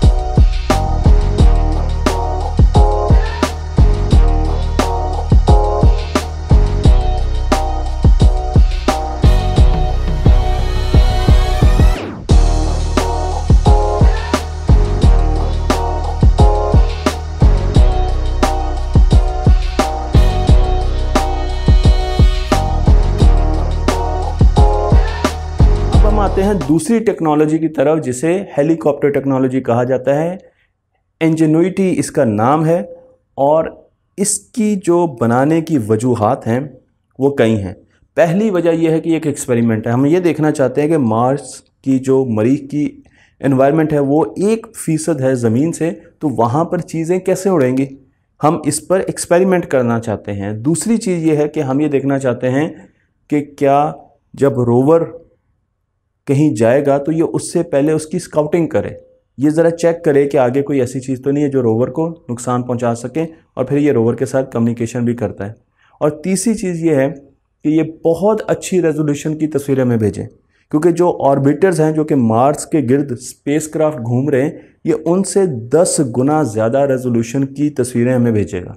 तो हमें कितना ज़्यादा फ़ायदा होने वाला है इस हेलीकॉप्टर का, जो सिर्फ़ एक अशारिया आठ के जी भारी है। और इस हेलीकॉप्टर को बनाने में जो सबसे ज़्यादा टेक्नोलॉजी का इस्तेमाल किया गया, वो इसी वजह से किया गया कि इसको हमने हल्का रखना है, इसको हमने भारी नहीं होने देना। चलें जी, अब एक हेलीकॉप्टर को हम डिस्कस कर लेते हैं कि जब भी हेलीकॉप्टर उड़ता है हेलीकॉप्टर का वज़न हमेशा नीचे की तरफ़ एक्ट कर रहा होता है। उसको उड़ने के लिए एक ऊपर की तरफ़ फोर्स चाहिए। वो फोर्स आती है उसके ब्लेड की रोटेशन से। तो जब उसके फ़ैन उसके ब्लेड घूमते हैं तो वो एक अपवर्ड लिफ्ट प्रोड्यूस करते हैं, क्योंकि हवा ऊपर की तरफ़ जा रही है। जैसे जैसे उनकी रोटेशन ज़्यादा होगी, वो रोटेशन की वजह से लिफ्ट ज़्यादा ऊपर की तरफ़ जाएगी, ऊपर की फोर्स ज़्यादा वेट कम हेलीकॉप्टर ऊपर चला गया। बड़ा आसान है। हम ज़मीन पर जब हेलीकॉप्टर उड़ाते हैं तो वो दस हज़ार से लेकर पच्चीस हज़ार फीट तक उड़ाते हैं। और जो हेलीकॉप्टर ज़मीन पर सबसे ज़्यादा ऊपर गया है, चालीस हज़ार फीट तक गया है। चालीस हज़ार आठ सौ पचास फीट तक हाईएस्ट फ़्लाइट है हेलीकॉप्टर की। क्यों? क्योंकि इसके ऊपर जब हम जाते हैं तो हवा की डेंसिटी बहुत कम हो जाती है और उस वजह से हम ब्लेड को बहुत ज़्यादा बहुत ज़्यादा तेज़ या तो घुमाएँ ताकि हवा तेज़ी से ऊपर जाए। लेकिन ब्लेड को घुमाने की भी एक लिमिट है। इस वजह से हम चालीस हज़ार से ऊपर नहीं जा सकते क्योंकि हवा बहुत पतली हो जाती है। अब मरीख की तरफ़ जाएँ। मरीख की हवा हमारी ज़मीन की हवा से एक फ़ीसद है। इसका मुजना आप इस तरीके से करें कि जो हेलीकॉप्टर आप ज़मीन पर एक लाख फिट पर उड़ाने और मरीख पर तीन मीटर उड़ाने, उनको एक जैसे एटमॉस्फेयर मिल रही है, उनको एक जैसी एयर डेंसिटी मिल रही है। तो अगर आपने मरीख पर एक हेलीकॉप्टर को उड़ाना है तो आपको ज़मीन पर एक ऐसा हेलीकॉप्टर बनाना पड़ेगा जो एक लाख फिट पर जाके उड़े।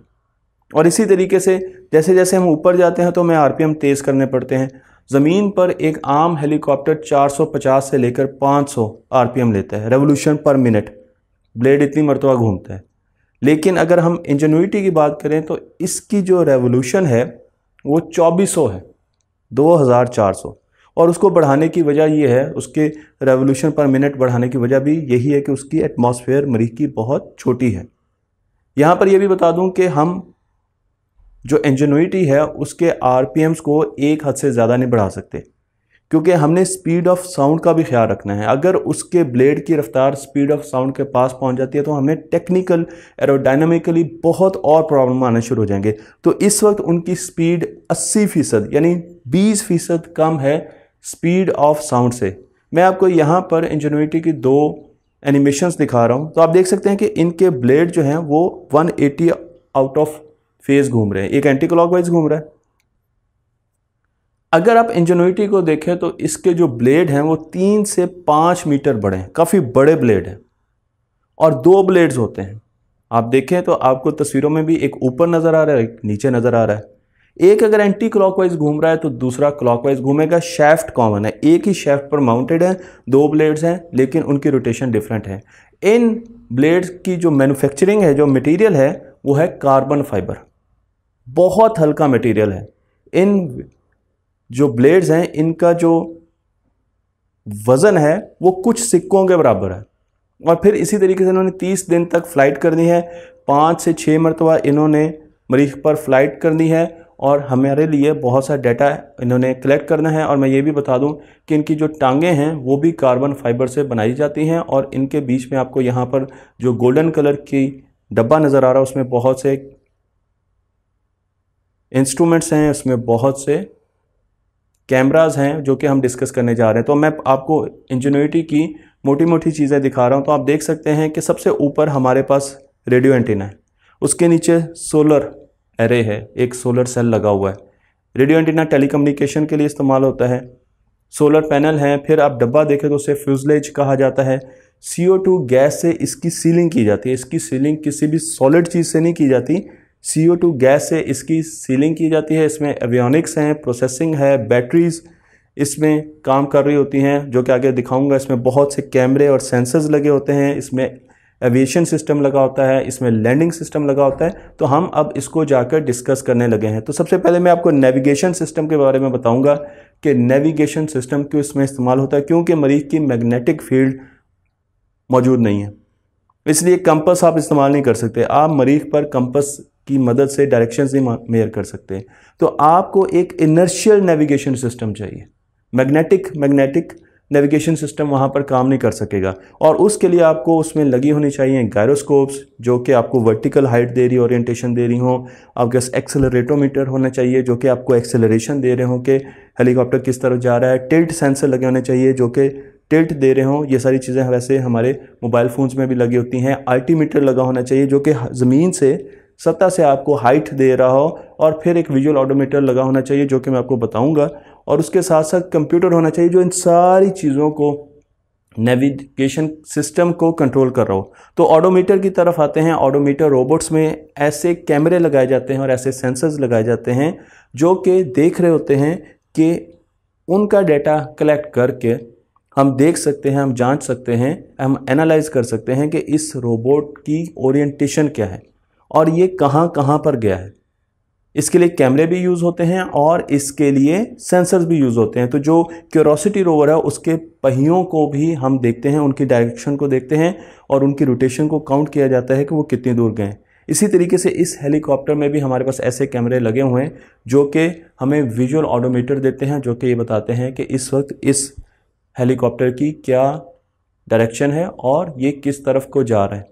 मैं आपको ये भी बता दूँ कि इसके ऊपर एक सोलर ट्रैकर कैमरा भी लगा होता है, जो कि सूरज को देख रहा होता है।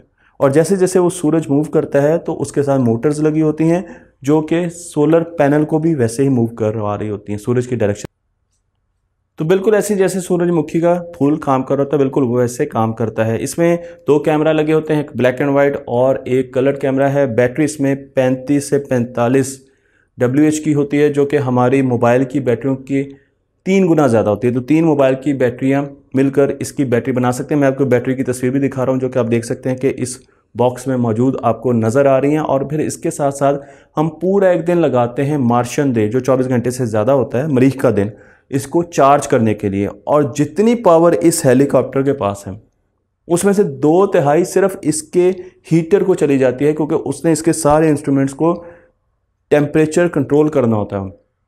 वरना मरीख पर रात को इतनी ठंड होती है कि वो सारे के सारे इंस्ट्रूमेंट फेल हो सकते हैं डैमेज हो सकते हैं। इसलिए इसकी दो तिहाई पावर तो सिर्फ़ और सिर्फ़ हीट इंसुलेशन और हीटर को चली जाती है। और जो दूसरी एक तिहाई इसके पास पावर रह जाती है, वो पावर ये यूज़ करता है। यहाँ पर मैं आपको ये भी बता चुका हूँ कि इसमें जो इंसुलेशन होती है, वो गैस बेस्ड इंसुलेशन है। इसका फ़्लाइट कंट्रोल ऑपरेशन सिस्टम भी है, जिसमें कॉल कॉम के स्नैपड्रैगन 801 प्रोसेसर यूज़ हो रहे हैं और लिनक्स ऑपरेटिंग सिस्टम यूज़ हो रहे हैं। मैं आपको ये भी बता दूँ कि इसके साथ माइक्रो कंट्रोलर्स भी लगे हुए हैं, लेकिन इसके पास एक रेडियो कम्युनिकेशन का भी पूरा सिस्टम है, जिसे जिगबी प्रोटोकॉल के ज़रिए चलाया जाता है।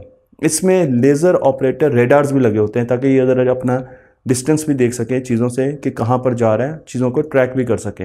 और मैंने आपको ये भी बताया कि इसके ऊपर एंटेना लगा होता है जो कि रोवर के साथ कम्युनिकेट कर रहा होता है। तो ये रोवर के साथ कॉन्टीन्यूसली काम कर रहा होता है कम्युनिकेट कर रहा होता है और सिग्नल्स को ट्रांसफ़र कर रहा होता है। आखिर में मैं इसकी टेस्टिंग के बारे में आपको बताना चाहता हूँ कि जब इसको टेस्ट किया जा रहा था, क्योंकि ये बहुत शानदार टेक्नोलॉजी है तो हमने बड़े बड़े जे पर ऐसे चैम्बर्स बनाए, जिसमें छियानवे फ़ीसद सी थी, तीन फ़ीसद नाइट्रोजन थी तो वही एटमॉस्फेयर बनाई जो कि मरीख पर थी। लेकिन मरीख पर 38 फ़ीसद ग्रेविटी है ज़मीन के मुकाबले में। अब वो कैसे किया जाए? उसके लिए एक और टेक्नोलॉजी का इस्तेमाल किया है, जिसे ग्रेविटी ऑफलोड कहा जाता है। तो इसमें अगर आप इन साहब की तस्वीर देखें तो इनके पीछे क्रेन की मदद से हमने एक हुक लगा दी है और उसकी वजह से एक फोर्स इन पर ऊपर की तरफ़ लगना शुरू हो गई है, जबकि इनका वेट नीचे की तरफ़ लग रहा है। तो क्योंकि ऊपर की तरफ़ भी हमने लिफ्ट की फोर्स लगा दी है तो इस वजह से इनको कम ग्रेविटी फील हो रही है। बिल्कुल ऐसे ही हम इस रोवर को टेस्ट करते हैं।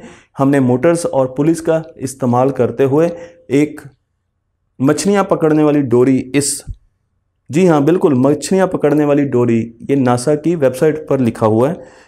इसके ऊपर लटका देते हैं और इससे इसको उठा देते हैं। इतना उठाते हैं कि इसको ये फील हो कि ज़मीन की ग्रेविटी सिर्फ़ 38 परसेंट है। और उसके बाद हम इसको चेक करते हैं। बहुत ज़्यादा आवाज़ होती है इसकी और इसकी सिमुलेशंस में आपको यहाँ पर दिखा रहा हूँ। लेकिन इसको टेस्ट किया जाता है।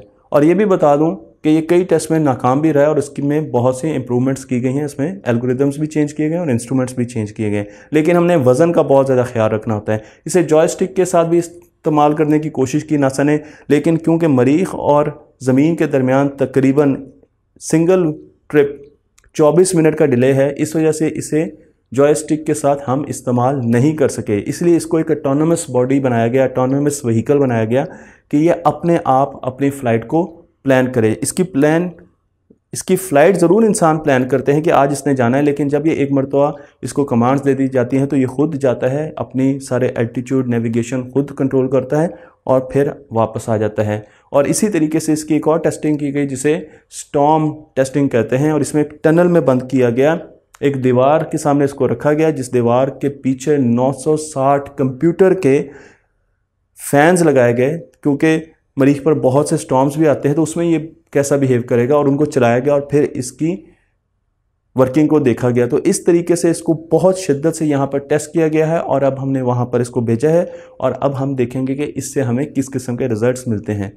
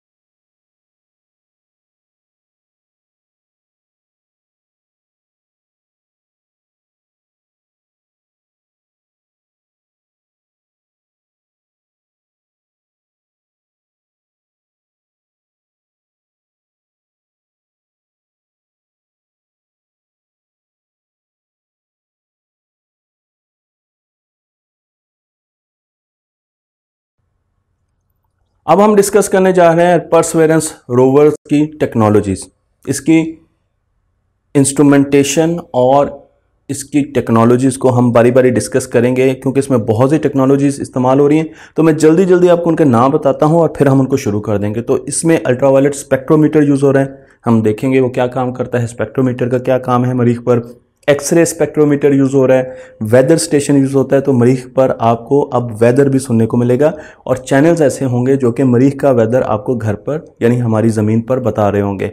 फिर इसमें लेज़र माइक्रो इमेजर है, इसमें जूमेबल पेनारोमिक कैमरा है, इसमें सरफेस रेडार्स हैं ऑक्सीजन जनरेटर है, और इसमें एक हेलीकॉप्टर भी मौजूद है। तो मैंने रैंडमली टेक्नोलॉजीज़ को उठाया, क्योंकि मुझे ऑक्सीजन जनरेटर ज़्यादा फैसिनेट किया।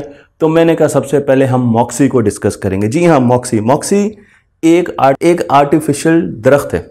और इसका काम क्या है? ये सी लेता है और ऑक्सीजन देता है। दरख्त का काम क्या है? वो सी ओ टू लेता है एटमॉस्फेयर से ऑक्सीजन देता है। तो मॉक्सी भी सी ओ टू लेगा मरीख की एटमॉस्फेयर से, क्योंकि वहाँ पर छियानवे फ़ीसद है ही सी ओ टू और ये ऑक्सीजन देगा। और इसके ऑक्सीजन देने का फ़ायदा क्या होगा? दो फ़ायदे होंगे। पहला फ़ायदा ये होगा कि इंसान को अगर मरीख पर जाना है तो उसे अपनी वापसी की ऑक्सीजन साथ लेके जाने की ज़रूरत नहीं है, क्योंकि वहाँ पर मॉक्सी मौजूद है और वो ऑक्सीजन बनाता जा रहा है, बनाता जा रहा है। उसके रिवाइज्ड वर्जन हम भेजेंगे, जो कि ऑक्सीजन बनाएँगे। इंसान अपने जाने की ऑक्सीजन लेकर जाएगा और फिर वहाँ पर रहकर मॉक्सी से ऑक्सीजन कलेक्ट करके वापस आएगा। इंसान को ज़िंदा रहने के लिए भी ऑक्सीजन की ज़रूरत है, लेकिन फ्यूल में भी ऑक्सीडाइज़र की ज़रूरत होती है ताकि आप उसकी कंबस्टन कर सकें। तो वो जो फ्यूल के लिए आपको ऑक्सीजन चाहिए, वो भी मॉक्सी देगा। और उसके साथ जो दूसरा इसका फ़ायदा वो ये है कि अगर इंसान मरीख पर जाता है 2024 में तो मरीख की जो सैर करनी है इंसान ने, उसके लिए भी इसको फ्यूल और ऑक्सीडाइज़र चाहिए तो वो भी मॉक्सी प्रोड्यूस करेगा। तो वहाँ पर जितना इंसान घूमेगा, उसमें भी मॉक्सी का बहुत बड़ा हाथ होगा।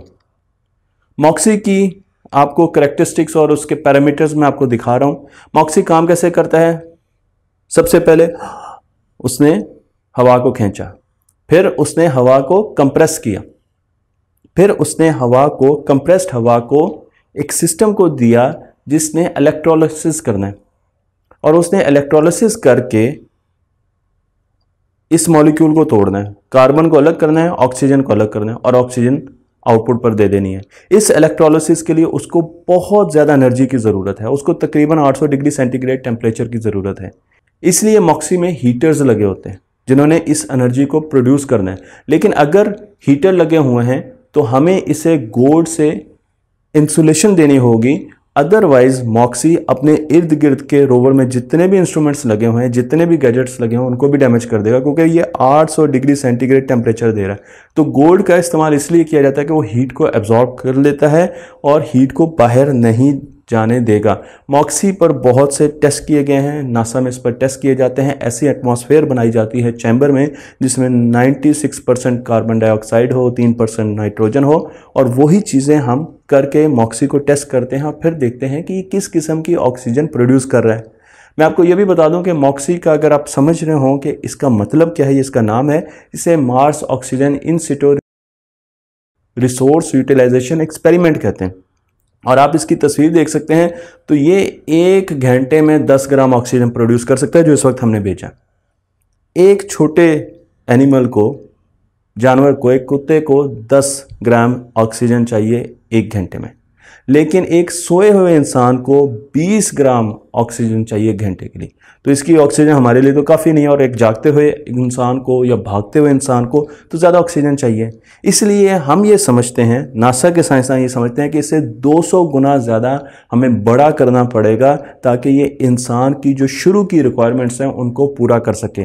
मैं आपको ये भी बता दूँ कि इसकी जो पावर है, इसको पावर चाहिए, वो 300 वाट रिक्वायरमेंट है। इसमें मुख्तलिफ़ किस्म के सेंसर्स लगे हुए हैं, इसमें मुख्तलिफ़ किस्म के कंपोनेंट्स लगे हुए हैं। आप इसका पूरा बॉक्स देख सकते हैं और इसे रोवर के अंदर ही रखा जाता है। तो ये रोवर के साथ साथ चलता है और जब एक मरतबा ये काम करता है तो रोवर की बैटरीज को ये दो घंटे में ड्रेन कर देता है और फिर हमें रोवर की बैटरीज को चार्ज करना पड़ता है।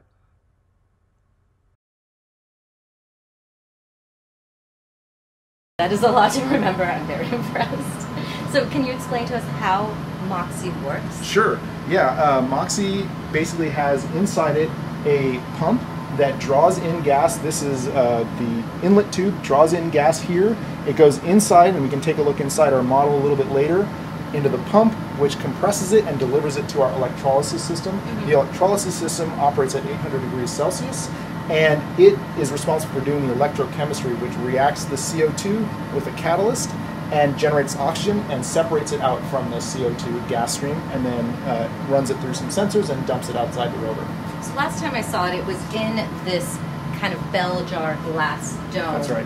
What is that for? That is because Mars has a very different atmosphere than Earth, so we can't simulate the operation of Mars effectively in an Earth's atmosphere environment. So we put a glass bell jar on here to make it a vacuum system, so that we can put in a Mars-like atmosphere that's about one hundredth the density of Earth's and mostly CO2. And the second thing I noticed was all the bling. Is that actual gold? It is in fact actually gold. Gold is a very efficient reflector of infrared heat, and because we have this very hot electrolysis system inside, we wanted to make sure that we didn't radiate heat onto any of the other things around us within the rover. And so we plated it gold to make sure that we didn't cause any negative uh, effects on anything around us. So how hot does it get?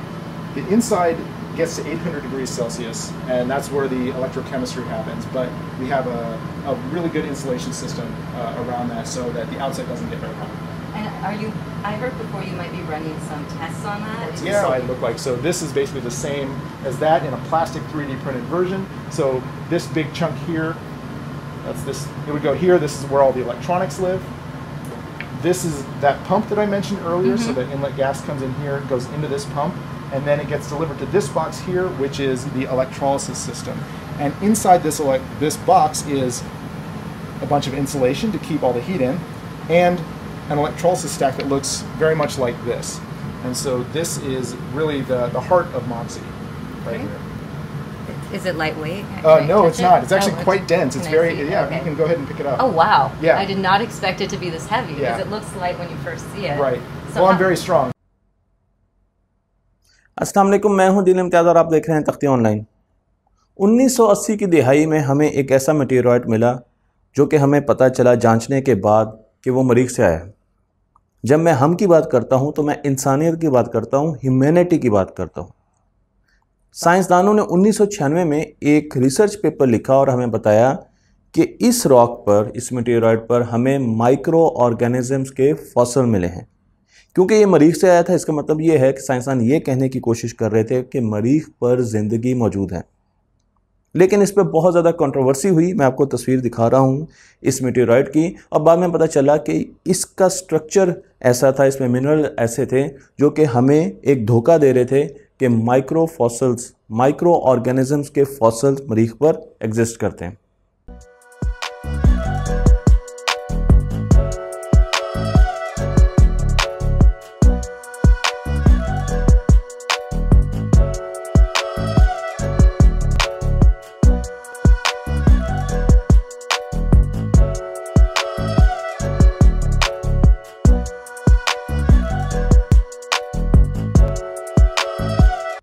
इसीलिए हमने सोचा कि हमें कुछ detectives भेजने चाहिए मरीख पर, ताकि वो मरीख पर जाएँ और ज़िंदगी की तलाश करें।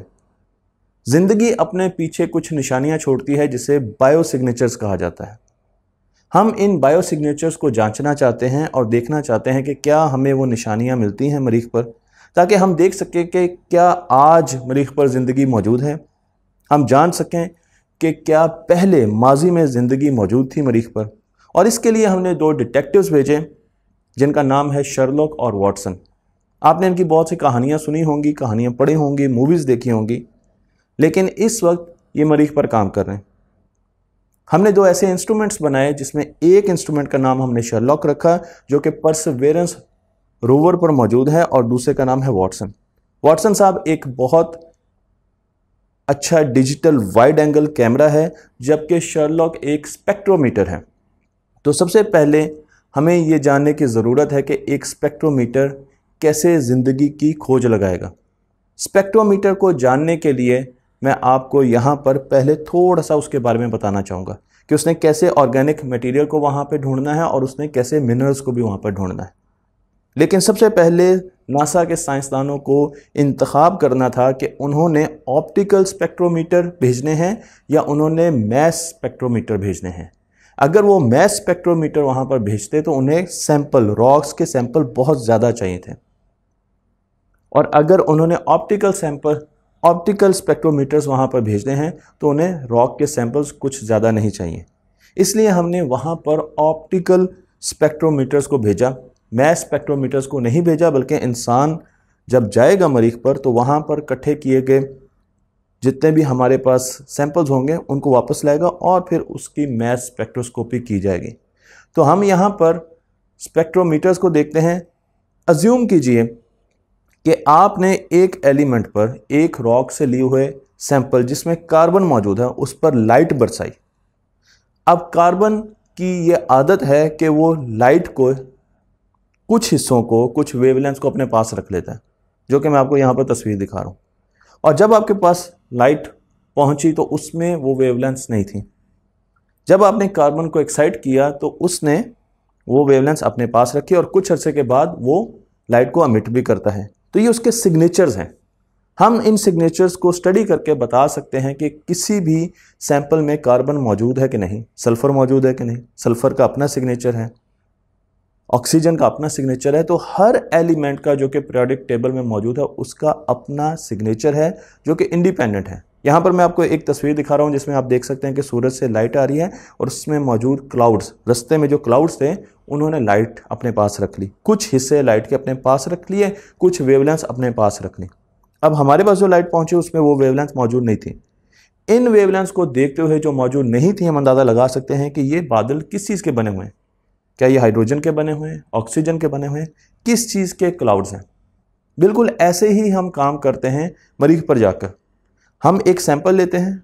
उस सैंपल पर जिस तरीके से मैं आपको तस्वीर दिखा रहा हूँ, हम पोलीक्रोमेटिक लाइट बम्बार्ड करते हैं। लेकिन पोलीक्रोमेटिक लाइट जिसमें मल्टीपल वेवलेंस होती हैं, उसको सबसे पहले एक डिफ्रेक्शन डिफ्रैक्शन ग्रेटिंग से स्कैटर किया जाता है।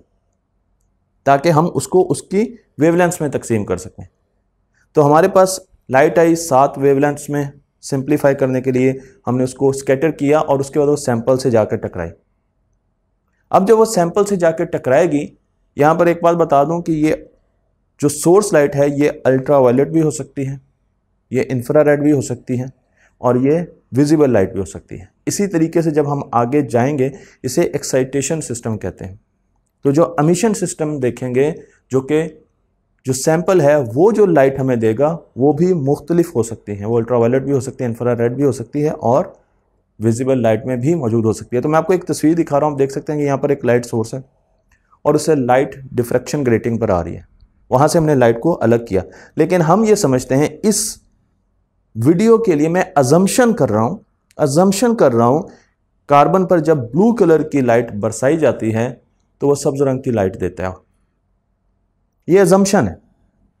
अब हमने क्या किया कि हमने डिफ्रेक्शन ग्रेटिंग से जितनी भी लाइट हमारे पास आ रही थी, उसको फ़िल्टर किया, उसमें से सिर्फ़ ब्लू लाइट ली, क्योंकि वो हमारा पॉइंट ऑफ़ इंटरेस्ट है, उसको सैंपल पर बरसाया और सैंपल पर बरसाने के बाद अब दो तीन काम हम कर सकते हैं। एक तो ये कि हम आगे एक एम्पलीफायर लगा सकते हैं, जिसे फ़ोटो मल्टीप्लायर कहते हैं, और वो हमें बता सकता है कि हमें आउटपुट पर कितनी लाइट मिल सकती है। इस पिक्चर में अगर आप ऊपर वाली रो को देखें तो वहाँ पर लाइट की डिफ्रैक्शन ग्रेटिक से डिफ्रैक्ट हुई। हमने ब्लू कलर की लाइट ली क्योंकि हमें पता है कि कार्बन उसे डिफ्रैक्ट करेगा। कार्बन के लिए वो एक्साइटेशन है। उसको कार्बन पर बरसाया गया, उस सैंपल पर बरसाया गया जिसमें कार्बन मौजूद है। अब हम आ जाते हैं दूसरे स्टेप पर, जहाँ पर लाइट जो सैंपल से निकली, यानी जो कार्बन से निकली, वो आई। वो लाइट भी मुख्तलिफ़ कलर्स की वेवलेंथ रखती होगी। अगेन हमने उसको डिफ्रैक्शन ग्रेटिंग से स्कैटर किया और हमने सब्ज रंग की लाइट को फ़िल्टर आउट कर लिया, क्योंकि हमें इंटरेस्ट था सब्ज रंग से कि सब्ज रंग अगर मौजूद है तो उसका मतलब है कि कार्बन का सिग्नेचर मौजूद है। और उसे हमने स्टडी कर दिया। हम ये भी कर सकते हैं कि इस लाइट को सीसीडी कैमरा के ज़रिए स्पेक्ट्रोग्राफ पर दिखा सकें। तो ये पूरा एक ऑप्टिकल स्पेक्ट्रोमीटर का प्रिंसिपल है, जिसमें लाइट को बरसाया जाता है सैंपल पर और लाइट की रिफ्लेक्शन स्कैटरिंग या एब्जॉर्प्शन से हम अंदाज़ा लगाते हैं किस किस्म के एलिमेंट्स उस सैंपल में मौजूद हैं? मैं आपको यहाँ पर तीन किस्म की स्पेक्ट्रो, मैं आपको यहाँ पर तीन किस्म के स्पेक्ट्रोमीटर्स दिखाने जा रहा हूँ। तो पहला जो है उसे स्पेक्ट्रोफोटोमीटर कहा जाता है, जो बड़ा सिंपल है। मैं आपको बता चुका हूँ कि लाइट आपने बरसानी है और आगे सैंपल से आपको लाइट मिल जाएगी। लेकिन जो दूसरी अहम स्पेक्ट्रोमीट्री है, वो जो कि परसेवेरेंस में यूज़ हो रही है, उसे कहते हैं स्पेक्ट्रोफ्लोरोमीटर और इसमें हमारे पास जो रोशनी होती है, जो बरसाते हैं, वो विजिबल लाइट भी हो सकती है अल्ट्रावायलेट भी हो सकती है। यूजुअली यही दो होती हैं। और जो हमें आउटपुट पर मिलेगी, जो मटेरियल एमिट करेगा, जो हमारा सैंपल एमिट करेगा, वो भी इंफ्रारेड हो सकती है। वो अल्ट्रावायलेट भी हो सकती है और वो विजिबल रेंज में भी हो सकती है। तो यहाँ पर ये चीज़ बहुत अहम है कि विजिबल लाइट में सिर्फ़ हम काम नहीं कर रहे हैं। हम एनालिसिस जो कर रहे हैं एमिशन जो फ्लोरोसेंस स्पेक्ट्रा देख रहे हैं, वो यूवी लाइट में भी हो सकता है, वो इंफ्रारेड में भी हो सकता है और वो विजिबल लाइट में भी हो सकता है, लेकिन ज़्यादातर हम विजिबल लाइट और यूवी लाइट में देख रहे होंगे। बाकी सारा का सारा प्रोसेस इसमें बिल्कुल वैसा ही है, लेकिन इसमें हमें और भी ज़्यादा इन्फॉर्मेशन मिलेगी। यहाँ पर मैं आपको इसकी एक डेफिनेशन दिखा रहा हूँ तो आप देख सकते हैं कि हमने विजिबल लाइट इस तस्वीर में अगर आप देखें विजिबल लाइट दी और उसमें से हमने ब्लू लाइट को आगे उस सैंपल पर बरसाया, उस सैंपल ने एब्जॉर्ब किया और हमें आउटपुट पर एमिट की उसने ग्रीन लाइट इसके साथ साथ वो ग्रीन लाइट के साथ साथ वो यूवी लाइट भी दे सकता है। तो हमने उसे एनालिसिस करना है और वहाँ से हमें सिग्नेचर्स पता चलेंगे कि इसमें कार्बन मौजूद है, इसमें फॉस्फोरस मौजूद है, इसमें सल्फ़र मौजूद है। इसी की एक आगे और वेरिएशन जो कि अगेन परसेवेरेंस रोवर में यूज़ हो रही है, जिसे रेमान स्कैटरिंग स्पेक्ट्रोमीटर कहा जाता है। इसमें जो हमारा सैंपल है, वो लाइट को एब्जॉर्व नहीं करेगा, वो स्कैटर करेगा। तो हम लेज़र्स के ज़रिए उसको बम्बार्ड करेंगे। अब जो लाइट आई है, वो लेज़र आ गई है यानी कि वो मोनोक्रोमेटिक लाइट आ गई है। बहुत छोटी वेवलेंथ की आई है। जो वेवलेंथ मैं आपको दिखा रहा हूँ, वो 280 नैनोमीटर 280 नैनोमीटर से लेके 200 नैनोमीटर तक है। हम लेज़र बरसाते हैं और उससे आगे जो हमारे पास लाइट आती है, जो स्कैटरिंग होती है, उसमें हमें मुख्तलिफ़ किस्म की लाइट्स मिलती हैं। वहाँ पर हम एक फ़िल्टर लगाते हैं और फिर हम रेमान स्कैटरिंग लाइट जो हमें मिलती है, जो सिर्फ़ स्कैटर होती है एमिशन इसमें नहीं होती, उसको हम सीसीडी पर प्लॉट करते हैं और हमें पता चलता है कि इसमें किस किस्म के एलिमेंट्स मौजूद हैं। तो यहाँ पर आपको नोच फ़िल्टर भी नज़र आ रहा है, जो कि कुछ स्पेसिफिक फ्रिक्वेंसी की लाइट को पास करने देता है और बाकियों को रोक लेता है। ये बिल्कुल एक छोटे से गेट की तरह होता है, जो कि काम कर रहा होता है। जो लेज़र हम यूज़ करते हैं स्पेक्ट्रोस्कोपी के लिए वो 48 मिलीमीटर mm ज़मीन से ऊपर रखी जाती है। तो वो 48 मिलीमीटर mm के ऊपर होती है और फिर वो प्रॉपर तरीके से काम कर रही है। तो मैं आपको यहाँ पर परसवेरेंस की तस्वीर दिखा रहा हूँ, जिस पर आप देख सकते हैं कि शर्लक उसके रोबोटिक आर्म पर माउंटेड है और उसके साथ वाटसन भी मौजूद है। और शर्लक का काम यह है कि उसने पानी को ढूंढना है एक बार हिस्ट्री को देखना है, उसने एलिमेंट्स को ढूंढना है, वो एलिमेंट्स जिन्हें शनॉप्स कहा जाता है, जो कि ज़िंदगी के बिल्डिंग ब्लॉक्स हैं, उनको ढूंढना है, उसने मिनरल्स को ढूंढना है, उसने कार्बन के बायोसिग्नेचर को ढूंढना है। और वाटसन का काम यह है कि उसने तस्वीरें खींचनी है जो कि आगे भी देखने जा रहे हैं। तो दो किस्म के कंपाउंड्स को हमने ढूंढना है, एक को एरोमेटिक कंपाउंड कहा जाता है, जो कि अनसेचुरेटेड हाइड्रोकार्बन्स होते हैं, और इनकी खुशबू होती है। इसलिए अरोमा एरोमेटिक कंपाउंड्स आप अंदाज़ा लगा सकते हैं अरोमा का मतलब होता है खुशबू। तो ये हमें ज़िंदगी के बारे में बताएँगे। लेकिन उसके साथ साथ हमने एलिफेटिक कंपाउंड को भी ढूंढना होता है, जिनकी डिटेल्स मैं आपको दिखा रहा हूँ, जो कि ऑर्गेनिक क्लास होती है सिंगल डबल और ट्रिपल बॉन्ड से मिलकर बनती हैं, और इसे भी हमने ढूंढना है। तो चलें, हम अब आपको शलक की परफॉर्मेंस दिखाते हैं। हमारे पास एक सैंपल है टेस्ट सैंपल है। उसकी हमने तस्वीर खींची है। और उसके बाद जब उसको एनालाइज किया गया तो आप देख सकते हैं कि किस किस्म की तस्वीर हमें इस स्पेक्ट्रोमीटर ने दी है, जो कि चमक रही है। आपको यहाँ पर ग्रीन कलर नज़र आ रहा है। तो ग्रीन कलर किसी एक एलिमेंट को रिप्रेजेंट कर रहा होगा। पिंक कलर किसी और एलिमेंट को रिप्रेजेंट कर रहा है। आप देख सकते हैं कि पिंक और ग्रीन इसमें बहुत ज़्यादा है। हमें और भी कई किस्म के कलर्स नज़र आ रहे हैं। हमें ग्रे कलर नज़र आ रहा है। तो इस तरीके से हम इस सैंपल को स्टडी कर रहे हैं और इससे हमें पता चल जाता है कि कौन सा एलिमेंट कितनी मकदार में मौजूद है। आपको यहाँ पर तस्वीर दिखाई जा रही है जिसमें आप देख सकते हैं कि शर्लक की जो बाकायदा बॉडी है वो किस तरीके से परसवेरेंस रोवर पर माउंट की गई है और उसके साथ ही कैमरा है। तो इस चीज़ को अगर हम डिटेल में देखें तो आप देख सकते हैं कि यहाँ पर तीन चीज़ें गौर करने की इस तस्वीर में। एक ये है कि वॉटसन कैमरा लगा हुआ है। जिसको हम स्टडी करने जा रहे हैं। दूसरा ये है कि मेरे पास ऑटो फोकस कॉन्टेक्स्ट इमेजर है, जिसे कॉन्टेक्स्ट इमेजर के नाम से बताया जाता है। ए सी आई इसको कहते हैं। जब भी मैं ए सी आई कहूँगा तो आपने इस इमेजर को देखना। है ये ब्लैक एंड वाइट तस्वीरें खींचने वाला एक कैमरा है, जो कि हम आगे स्टडी करने जा रहे हैं। तो वाटसन वाइड रेंज था जिसको देखेंगे, और ये camera A C I black and white monochromatic है। इसके साथ आपको एक तारे नज़र आ रही हैं, जो कि जिग हैं, जो कि इसको परसवेरेंस से कनेक्ट करती हैं, और फिर आपको स्पेक्ट्रोमीटर नज़र आ रहा है, जो कि ए स्फेयर स्पेक्ट्रोमीटर है, और इसका मॉडल भी आप यहाँ पर देख सकते हैं। आपको लेज़र की असम्बली भी यहाँ पर नज़र आ रही है, और ऑटो फोकस का मैकेनिकल स्ट्रक्चर भी आपको यहाँ पर नज़र आ रहा है। तो ये पूरी की पूरी तस्वीर थी। हमने एक रॉक ली, जिसे फिग ट्री चर्ट रॉक कहते हैं। शर्ट भी कहते हैं, कुछ लोग चर्ट कहते हैं। ये रॉक बहुत पुरानी रॉक इस पर स्ट्रोमेटालाइट्स के फॉसल्स हैं, जो बहुत पुराने बैक्टीरिया थे। चार बिलियन साल पुराने बैक्टीरिया थे, उनके फॉसल्स मौजूद थे। इसमें सिलिका बहुत ज़्यादा थी और कार्बन बहुत ही कम थी। और हमने इसको स्कैन किया शलॉक के ज़रिए। तो जब हमने इसको शलॉक के ज़रिए स्कैन किया तो मैं आपको यहाँ पर रिज़ल्ट दिखा रहा हूँ। और साथ साथ ए के साथ हमने इसकी मोनोक्रोमेटिक तस्वीरें भी खींची। तो हमने जब शर्लॉक के साथ इसको स्कैन किया तो इसने हमें बताया कि ये रॉक ऐसी जगह पर रही है जहाँ पर टेम्परेचर 600 सेंटीग्रेड से ज़्यादा कभी रहा है। इस रॉक में सिलिका कंटेंट बहुत ज़्यादा है। इस रॉक में कार्बन का कंटेंट बहुत कम है। और इसने उसकी एक्वा हिस्ट्री पानी की हिस्ट्री भी हमें दी। तो आपको यहाँ पर इस तस्वीर से पता चलेगा कि हमने कितना ज़्यादा डाटा सिर्फ़ इस रॉक के एक स्कैन से हासिल किया जो कि शर्लॉक ने किया। इसी तरीके से मैं आपको इस रॉक की तस्वीर दिखा रहा हूँ तो आप देख सकते हैं कि ये रॉक इसके बाहर भी आपको माइक्रो ऑर्गेनिज्म के जहाँ पे नीला रंग बहुत गहरा है फॉसल्स मिलेंगे। लेकिन जहाँ पर क्रैक है, वहाँ पर भी माइक्रो ऑर्गेनिज्म घुस चुके हैं। और आपको इस रॉक पर कुछ थम प्रिंट्स भी नज़र आएँगे कि जब इस रॉक को उठाया गया तो इस पर फिंगरप्रिंट्स चस्पा हो गए और वो भी शर्लॉक ने हमें यहाँ पर दिखा दिया। तो आप देख सकते हैं कि कितने ज़्यादा डिटेल में शर्लॉक इन चीज़ों को एनालाइज करता है। जब शर्लॉक की हम बात कर रहे हैं तो इस को कैलिब्रेट भी होना चाहिए, क्योंकि जब भी एनालाइज़र की हम बात करते हैं तो एनालाइज़र कुछ अरसे के बाद एरर देना शुरू कर देता है। हमने शर्लक में 10 नॉन चीज़ें रखी हैं, ऐसे टेस्ट मॉडल्स रखे हैं, जिनकी वैल्यूज़ हमें पता है। तो शर्लक, सपोज़ एक नॉन मॉडल है, जिसकी वैल्यू जब शर्लक नॉर्मल कंडीशन में, जब वो एरर फ्री होता है, वो रीड करता है तो दस आनी चाहिए।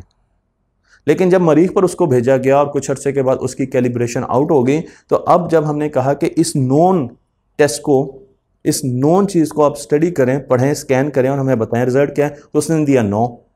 इसका मतलब यह है कि एक का एरर है, वो कम पड़ रहा है एक।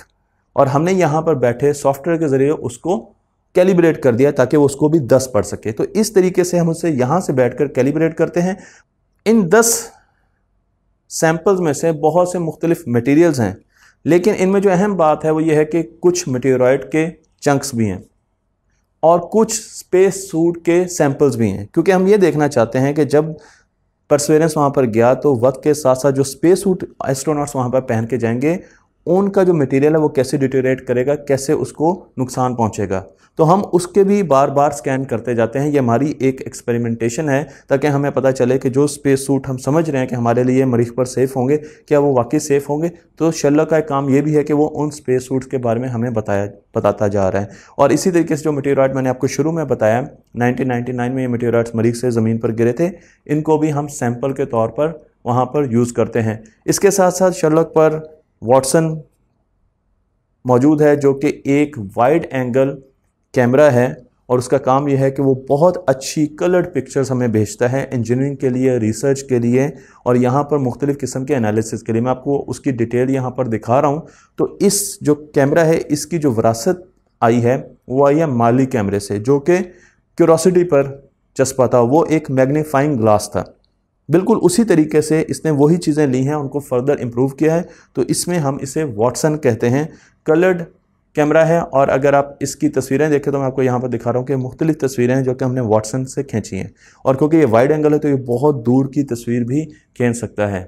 एक और कैमरा लगा हुआ है जिसे हमने ऑटो फोकस कॉन्टेक्स्ट इमेजर कहा था ए कहा था। मोनोक्रोमेटिक इमेजर है कोडेक का बना हुआ है, आप उसको, उसकी डिटेल्स यहाँ पर देख सकते हैं। और इसका काम क्या इसका काम क्या है कि इसने डिटेल्ड तस्वीरें खींचनी हैं। तो ये वाइड एंगल नहीं है, लेकिन ये स्पेसिफिक तस्वीरें खींचेगा जो कि हमारा पॉइंट ऑफ़ इंटरेस्ट है। उसकी तस्वीरें हम देख सकते हैं। तो यहाँ पर आपको मैं एक तस्वीर दिखा रहा हूँ। आप देख सकते हैं कि वही तस्वीर है, उससे मिलती जुलती तस्वीर है जो पहले दिखाई थी। तो कॉन्टेक्स्ट इमेजर यहाँ पर लगा हुआ है स्पेक्ट्रोमीटर लगा हुआ है। आप यहाँ पर वाइड एंगल इमेजर यानी माहली उसको कहते थे। अब वो वाटसन है, वो आप देख सकते हैं। ऑटो फोकस की असम्बली देख सकते हैं और लेज़र भी देख सकते हैं। तो काम कैसे होता है? काम स्पेक्ट्रोमीटर कैसे करता है शलक और वाटसन मिलकर कैसे काम करते हैं? ये मैं डिटेल में आपको अगली वीडियोज़ में बताऊँगा, लेकिन कुछ चीज़ें मैं आपको बता सकता हूँ कि जब भी हम स्कैन करते हैं तो सबसे पहले वाटसन से तस्वीरें खींची जाती हैं। वाइड एंगल एक रोवर जा रहा है परसवेरेंस रोवर जा रहा है तो वो वाइड एंगल तस्वीरें खींचेगा और पीछे साइंसदानों को भेजेगा। उसके साथ साथ ए अपनी तस्वीरें खींचेगा, वो भी साइंसदानों को भेजेगा। उन दोनों तस्वीरों को ब्लैक एंड वाइट और कलर्ड वाइड एंगल तस्वीरों को हम मैच करते हैं और देखते हैं कि किसी किस्म का एरर तो नहीं है। और उसके बाद हम एक सर्वे मोड ऑन कर देते हैं। सर्वे मोड एक जेनेरिक मोड है जिसमें रोवर इर्द गिर्द देखते हुए चलता है। वो ज़्यादा एरिया ज़्यादा वेवलेंथ के साथ स्कैन कर रहा होता है। तो आप यहाँ पर देख सकते हैं कि स्पेक्ट्रा जो है वो 1250 है। जबकि एरिया उनचास मिलीमीटर स्क्वायर है। तो काफ़ी ज़्यादा एरिया वो स्कैन करता जा रहा है।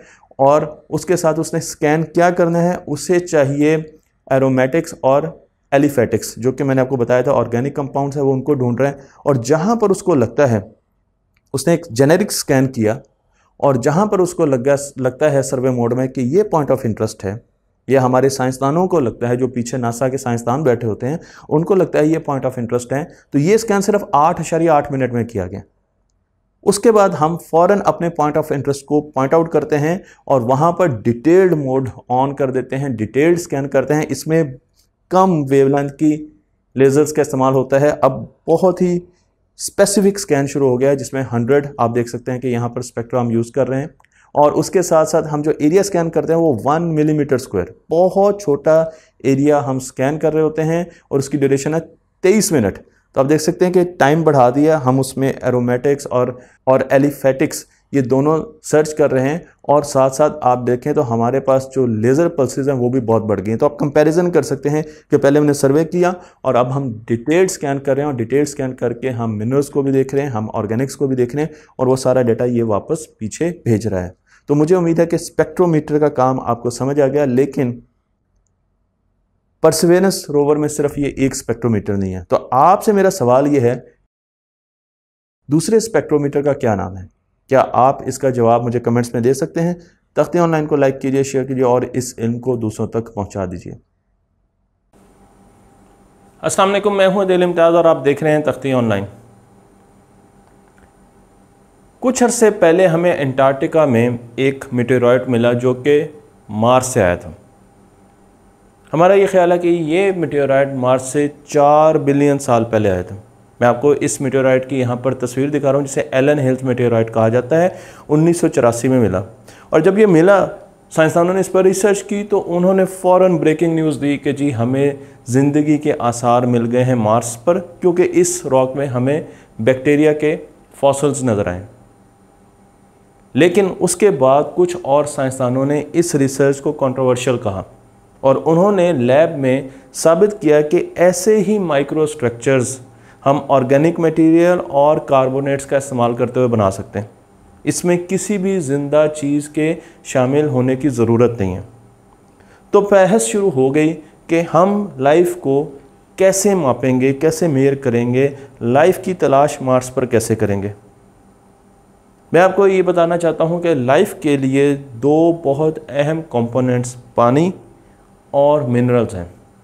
जब हमने क्यूरोसिटी को मार्स पर भेजा तो हमने उसे लाइफ की डिटेक्शन के लिए तो भेजा ही, लेकिन सबसे अहम काम जो क्यूरोसिटी का था, वो था कि उसने मिनरल्स को, कुछ मिनरल्स को और पानी को डिटेक्ट करना था। क्यूरोसिटी ने जाते ही मार्स पर जो तस्वीरें हमें भेजी, उससे हमें पता चल गया कि मार्स पर पानी मौजूद है। क्योंकि हमें ऐसी रॉक्स नज़र आ रही थी, जो कि गोल थी, जिनकी एजेस गोल थी और पानी ही रॉक्स को जब अपने साथ बहाता है तो वो उनकी एजेस को गोल करता है। उसके अलावा कोई ऐसा मैकेनिज़्म नहीं है कि रॉक्स की छोटे छोटे रॉक्स की एजेस गोल हों। तो उससे हमें अंदाज़ा हो गया कि पानी मौजूद है लेकिन बाद में हमारे पास और भी एविडेंस आ गए जिससे इस अंदाजे की कन्फर्मेशन हो गई। तो मार्स, तो मार्स पर पानी तो मौजूद है जो कि तकरीबन तीन अशारिया पाँच से तीन अशारिया आठ बिलियन साल पहले मार्स पर आया। कैसे आया? हमारा ये ख्याल है कि लेट हैवी बम्बार्डमेंट जिस पर मैं पूरी वीडियो बना चुका हूँ, उन एस्ट्रॉयड्स के ज़रिए, उन मटीरॉयड्स के ज़रिए मार्स पर पानी आया। उसके साथ साथ हम कुछ एलिमेंट्स भी सर्च कर रहे थे मार्स पर, क्योंकि हम ये समझते हैं कि हमारी बॉडी का 90 परसेंट इन एलिमेंट्स से मिलकर बनता है, जिन्हें स्नॉप्स कहा जाता है। Carbon hydrogen oxygen nitrogen, phosphorus और सल्फ़र। तो अगर आप इनको जोड़ लें तो स्नॉप्स आता है और इसका मतलब यह है कि कहीं भी आपको हम जैसी लाइफ की अगर तलाश होगी तो वहाँ पर स्नॉप्स का होना ज़रूरी है। एलिमेंट्स हमें जल्दी जल्दी मिलना शुरू हो गए क्योंकि क्यूरोसिटी के पास एक लैब थी साइंटिफिक लैब भी थी तो वो सैंपल लेती थी और उसको एनालाइज करती थी तो हमें मुख्तलिफ़ एलिमेंट्स मिलना शुरू हो गए, लेकिन सबसे एंड पर और सबसे देर जो लगाई वो फॉस्फोरस ने लगाई। फॉस्फोरस के मिलते ही हमें अंदाज़ा हो चुका था कि वहाँ पर पानी भी मौजूद है और वहाँ पर पानी के साथ मिनरल्स भी मौजूद हैं जो कि लाइफ को सपोर्ट करते हैं। अब हमें ज़रूरत है वहाँ पर लाइफ को ढूँढने के लिए और उसके लिए हमने भेजी परसी अगला मिशन परसवेरेंस रोवर और परसवेरेंस रोवर ने लाइफ को तलाश करना है वहाँ पर। मैं बहुत सी वीडियोस बना चुका हूँ। इस रोवर को हमने जजीरो क्रेटर के एक डेल्टा पर भेजा है, ये एक दरिया है, उसका डेल्टा है और फिर वो आगे एक झील में, एक पौंड में गिरता है, जो कि तीन बिलियन साल पुराना है। और हमें अंदाज़ा है कि वहाँ पर बहुत से माइक्रोब्स हमें मिलेंगे। और उन माइक्रोब्स को ही डिटेक्ट करने के लिए हमने परसवेरेंस रोवर को वहाँ पर भेजा है। क्योंकि हम ये समझते हैं कि माइक्रोब्स बहुत ज़्यादा सख्त जान होते हैं। हमारी ज़मीन पर माइक्रोब्स तकरीबन तीन अशरिया छः तीन अशरिया सात बिलियन साल पहले आ चुके थे। और उसके बाद कॉम्प्लेक्स लाइफ आई। माइक्रोब्स बहुत ज़्यादा हार्श एनवायरनमेंट में रह सकते हैं। इस पर पूरी एक रिसर्च की गई है कि ऐसी ऐसी गारों में भी माइक्रोब्स मौजूद हैं जो कि बहुत ज़्यादा एसिडिक हैं ज़मीन पर। जहाँ बहुत ज़्यादा टेम्परेचर है, वहाँ पर कोई लाइफ ज़िंदा नहीं रह सकती, लेकिन वहाँ पर भी माइक्रोब्स मौजूद हैं। उसके अलावा हमें लाइफ की क्या फॉर्म मिल सकती है? एक तो मैंने आपको बताया कि हमें माइक्रोब्स के फॉसल्स मिल सकते हैं। हमें इंसानों के या दूसरे जानदार के फॉसल्स मिल सकते हैं। हमें ट्रीज़ के फॉसल्स मिल सकते हैं। हमें पत्तों के, झाड़ियों के फॉसल्स मिल सकते हैं। तो ये वो सारी चीज़ें हैं जिनको हम तलाश कर रहे हैं। और सबसे ज़्यादा हम तलाश कर रहे हैं माइक्रोब्स को, क्योंकि हमने जब ज़मीन पर देखा कि सबसे पुरानी ज़िंदगी के ढांचे हमें कहाँ मिले तो वो मिले ऑस्ट्रेलिया में। और ऑस्ट्रेलिया में हमें एक ख़ास किस्म की रॉक मिलती है साहली इलाकों में, जिसे स्ट्रोमेटालाइट कहा जाता है। स्ट्रोमेटालाइट ऐसी रॉक होती है जिस पर बैक्टीरिया जब वो ख़त्म हो जाता है तो वो अपने फॉसल्स के ज़रिए उसकी लेयर्स बनाता है। उसकी लेयर फॉसलाइज्ड बैक्टीरिया की सैनो बैक्टीरिया की बनी हुई होती हैं। मैं आपको यहाँ पर तस्वीर में भी दिखा रहा हूँ। तो अगर हम उन फॉसल्स को देखें, उनके केमिकल एनालिसिस किए जाएँ, देखा जाए कि वो किस किस्म के केमिकल्स किस किस्म के एलिमेंट से मिलकर बनते हैं तो हम मरीख पर भी ये काम कर सकते हैं। तो हमने सबसे पहले तो वहाँ पर स्टोमेटालाइट रॉक्स को सर्च करना है। मैं आपको यहाँ पर एक तस्वीर दिखा रहा हूँ जिसमें एक स्ट्रोमेटालाइट रॉक है, जिसके ऊपर अभी भी बैक्टीरिया मौजूद है, लेकिन आप देखें कि बैक्टीरिया बड़ा एक गुई किस्म का हमें सब्सटेंस दे रहा है, चिपकने वाला सब्सटेंस दे रहा है, जबकि नीचे इसके कार्बोनेट की लेयर है। तो जब ये बैक्टीरिया ऐसा ऐसा ख़त्म होगा तो ये अपने फॉसल्स छोड़ देगा और सख्त किस्म के फॉसल्स छोड़ेगा, अखरोट की तरह के, जो कि इस रॉक को फर्दर स्ट्रक्चर देंगे। जब हमने परसवेरेंस मरीख पर भेजा तो उस पर तेईस किस्म के कैमरे लगे हुए हैं। मैंने कई कैमरों पर वीडियो भी बनाई है, लेकिन उन कैमरों में हमारे पास zoom panoramic camera micro imager हमारे पास रेडर और स्पेक्ट्रोमीटर्स लगे हुए हैं। स्पेक्ट्रोमीटर्स में शेलॉक स्पेक्ट्रोमीटर पर मैं पूरी वीडियो बना चुका हूँ कि वो कैसे चीज़ों को देखता है और कैसे उसको इंटरप्रेट करता है। लेकिन आज हम एक और स्पेक्ट्रोमीटर की बात करने जा रहे हैं। इसका नाम है पिक्सल। क्योंकि हमने एक ख़ास किस्म की रॉक देखनी है, जिसे ब्लैक चर्ट रॉक कहा जाता है। इसका ऊपर वाला हिस्सा ब्लैक कलर का होता है और वो बैक्टीरिया के फॉसल से बना हुआ होता है, जबकि नीचे वाला हिस्सा कार्बोनेट से बना होता है। इसको हम ड्रिल करेंगे। ज़मीन पर ये रॉक मौजूद है, इसको ड्रिल किया जाएगा और उसके बाद जो सैंपल मिलेगा, उसकी स्पेक्ट्रोस्कोपी की जाएगी और हम उसके रिजल्ट्स अपने पास सेव कर लेंगे। और जब हम मार्स पर जाएँगे तो फिर इसी किस्म की रॉक को हम ढूंढेंगे, उसकी ड्रिलिंग करेंगे और उसके रिजल्ट्स को लेकर आएँगे, ज़मीन पर एनालाइज करेंगे और देखेंगे कि क्या वहाँ पर ज़िंदगी के आसार हैं। मैं आपकी मुलाकात करवाता हूँ एक साइंटिस्ट जिनका नाम है डॉक्टर एबिगेल ऑलवुड ये नासा की साइंटिस्ट हैं और इनका काम ही यह है कि इन्होंने फॉसलाइज बैक्टीरिया पर पीएचडी भी की है नासा के साथ काम कर रही हैं और मरीख पर ज़िंदगी की तलाश कर रही हैं। और चाहती हैं कि वो इस किस्म की टेक्नोलॉजी बनाएँ जो कि इस फॉसलाइज बैक्टीरिया को डिटेक्ट कर सकें। क्योंकि मार्स पर हम टेलीस्कोप तो लेकर जा नहीं सकते कि हम डायरेक्ट मेज़रमेंट ले लें और बता दें कि बैक्टीरिया मौजूद है। हमें इनडायरेक्ट मेज़रमेंट लेनी होगी और इनडायरेक्ट मेज़रमेंट के लिए इन्होंने डिज़ाइन किया है, इनकी टीम ने डिज़ाइन किया है पिक्सल, एक स्पेक्ट्रोमीटर जो कि एक ख़ास किस्म की रेडिएशन सैंपल पर डालेगा। सैंपल के अंदर जो एटम्स मौजूद होंगे, जब उनके साथ ये रेडिएशन जो कि एक्स रे और गैमा रेज की होंगी, उनके साथ जैसे ही ये रेडिएशन टकराएँगी, वो उनको अपनी एनर्जी देंगी। इलेक्ट्रॉन जंप करेगा, उस एटम से बाहर निकलेगा एटम आयोनाइज हो जाएगा और एक दूसरा इलेक्ट्रॉन उस होल को फिल करने के लिए उसके अंदर जंप करेगा और फिर हमें एटम एक रेडिएशन देगा। और उस रेडिएशन के एनर्जी गैप से, उस रेडिएशन के रंगत से हमें पता चल जाएगा कि कौन से एलिमेंट का वो एटम था जिसने ये सारी एक्टिविटी की। मैं आपको यहाँ पर एक तस्वीर भी दिखा रहा हूँ तो आप इस तस्वीर में भी ये पूरा मैकेनिज़्म देख सकते हैं और इससे हमें एलिमेंट एनालिसिस में बहुत ज़्यादा मदद मिलती है। तो हम रेडिएशन देते हैं और रेडिएशन आउटपुट पर आती है और उसके साथ हम मुख्तलिफ़ किस्म के एलिमेंट्स मिनरल्स में देखते हैं रॉक्स में देखते हैं और हम एलिमेंट्स को उनकी शनाख्त प्रेट कर सकते हैं, उनका सिग्नेचर मालूम कर सकते हैं। यही काम करता है planetary instrument for x-ray lithochemistry pixel, जो कि सब मिलीमीटर लेवल पर जाकर मेज़रमेंट करता है।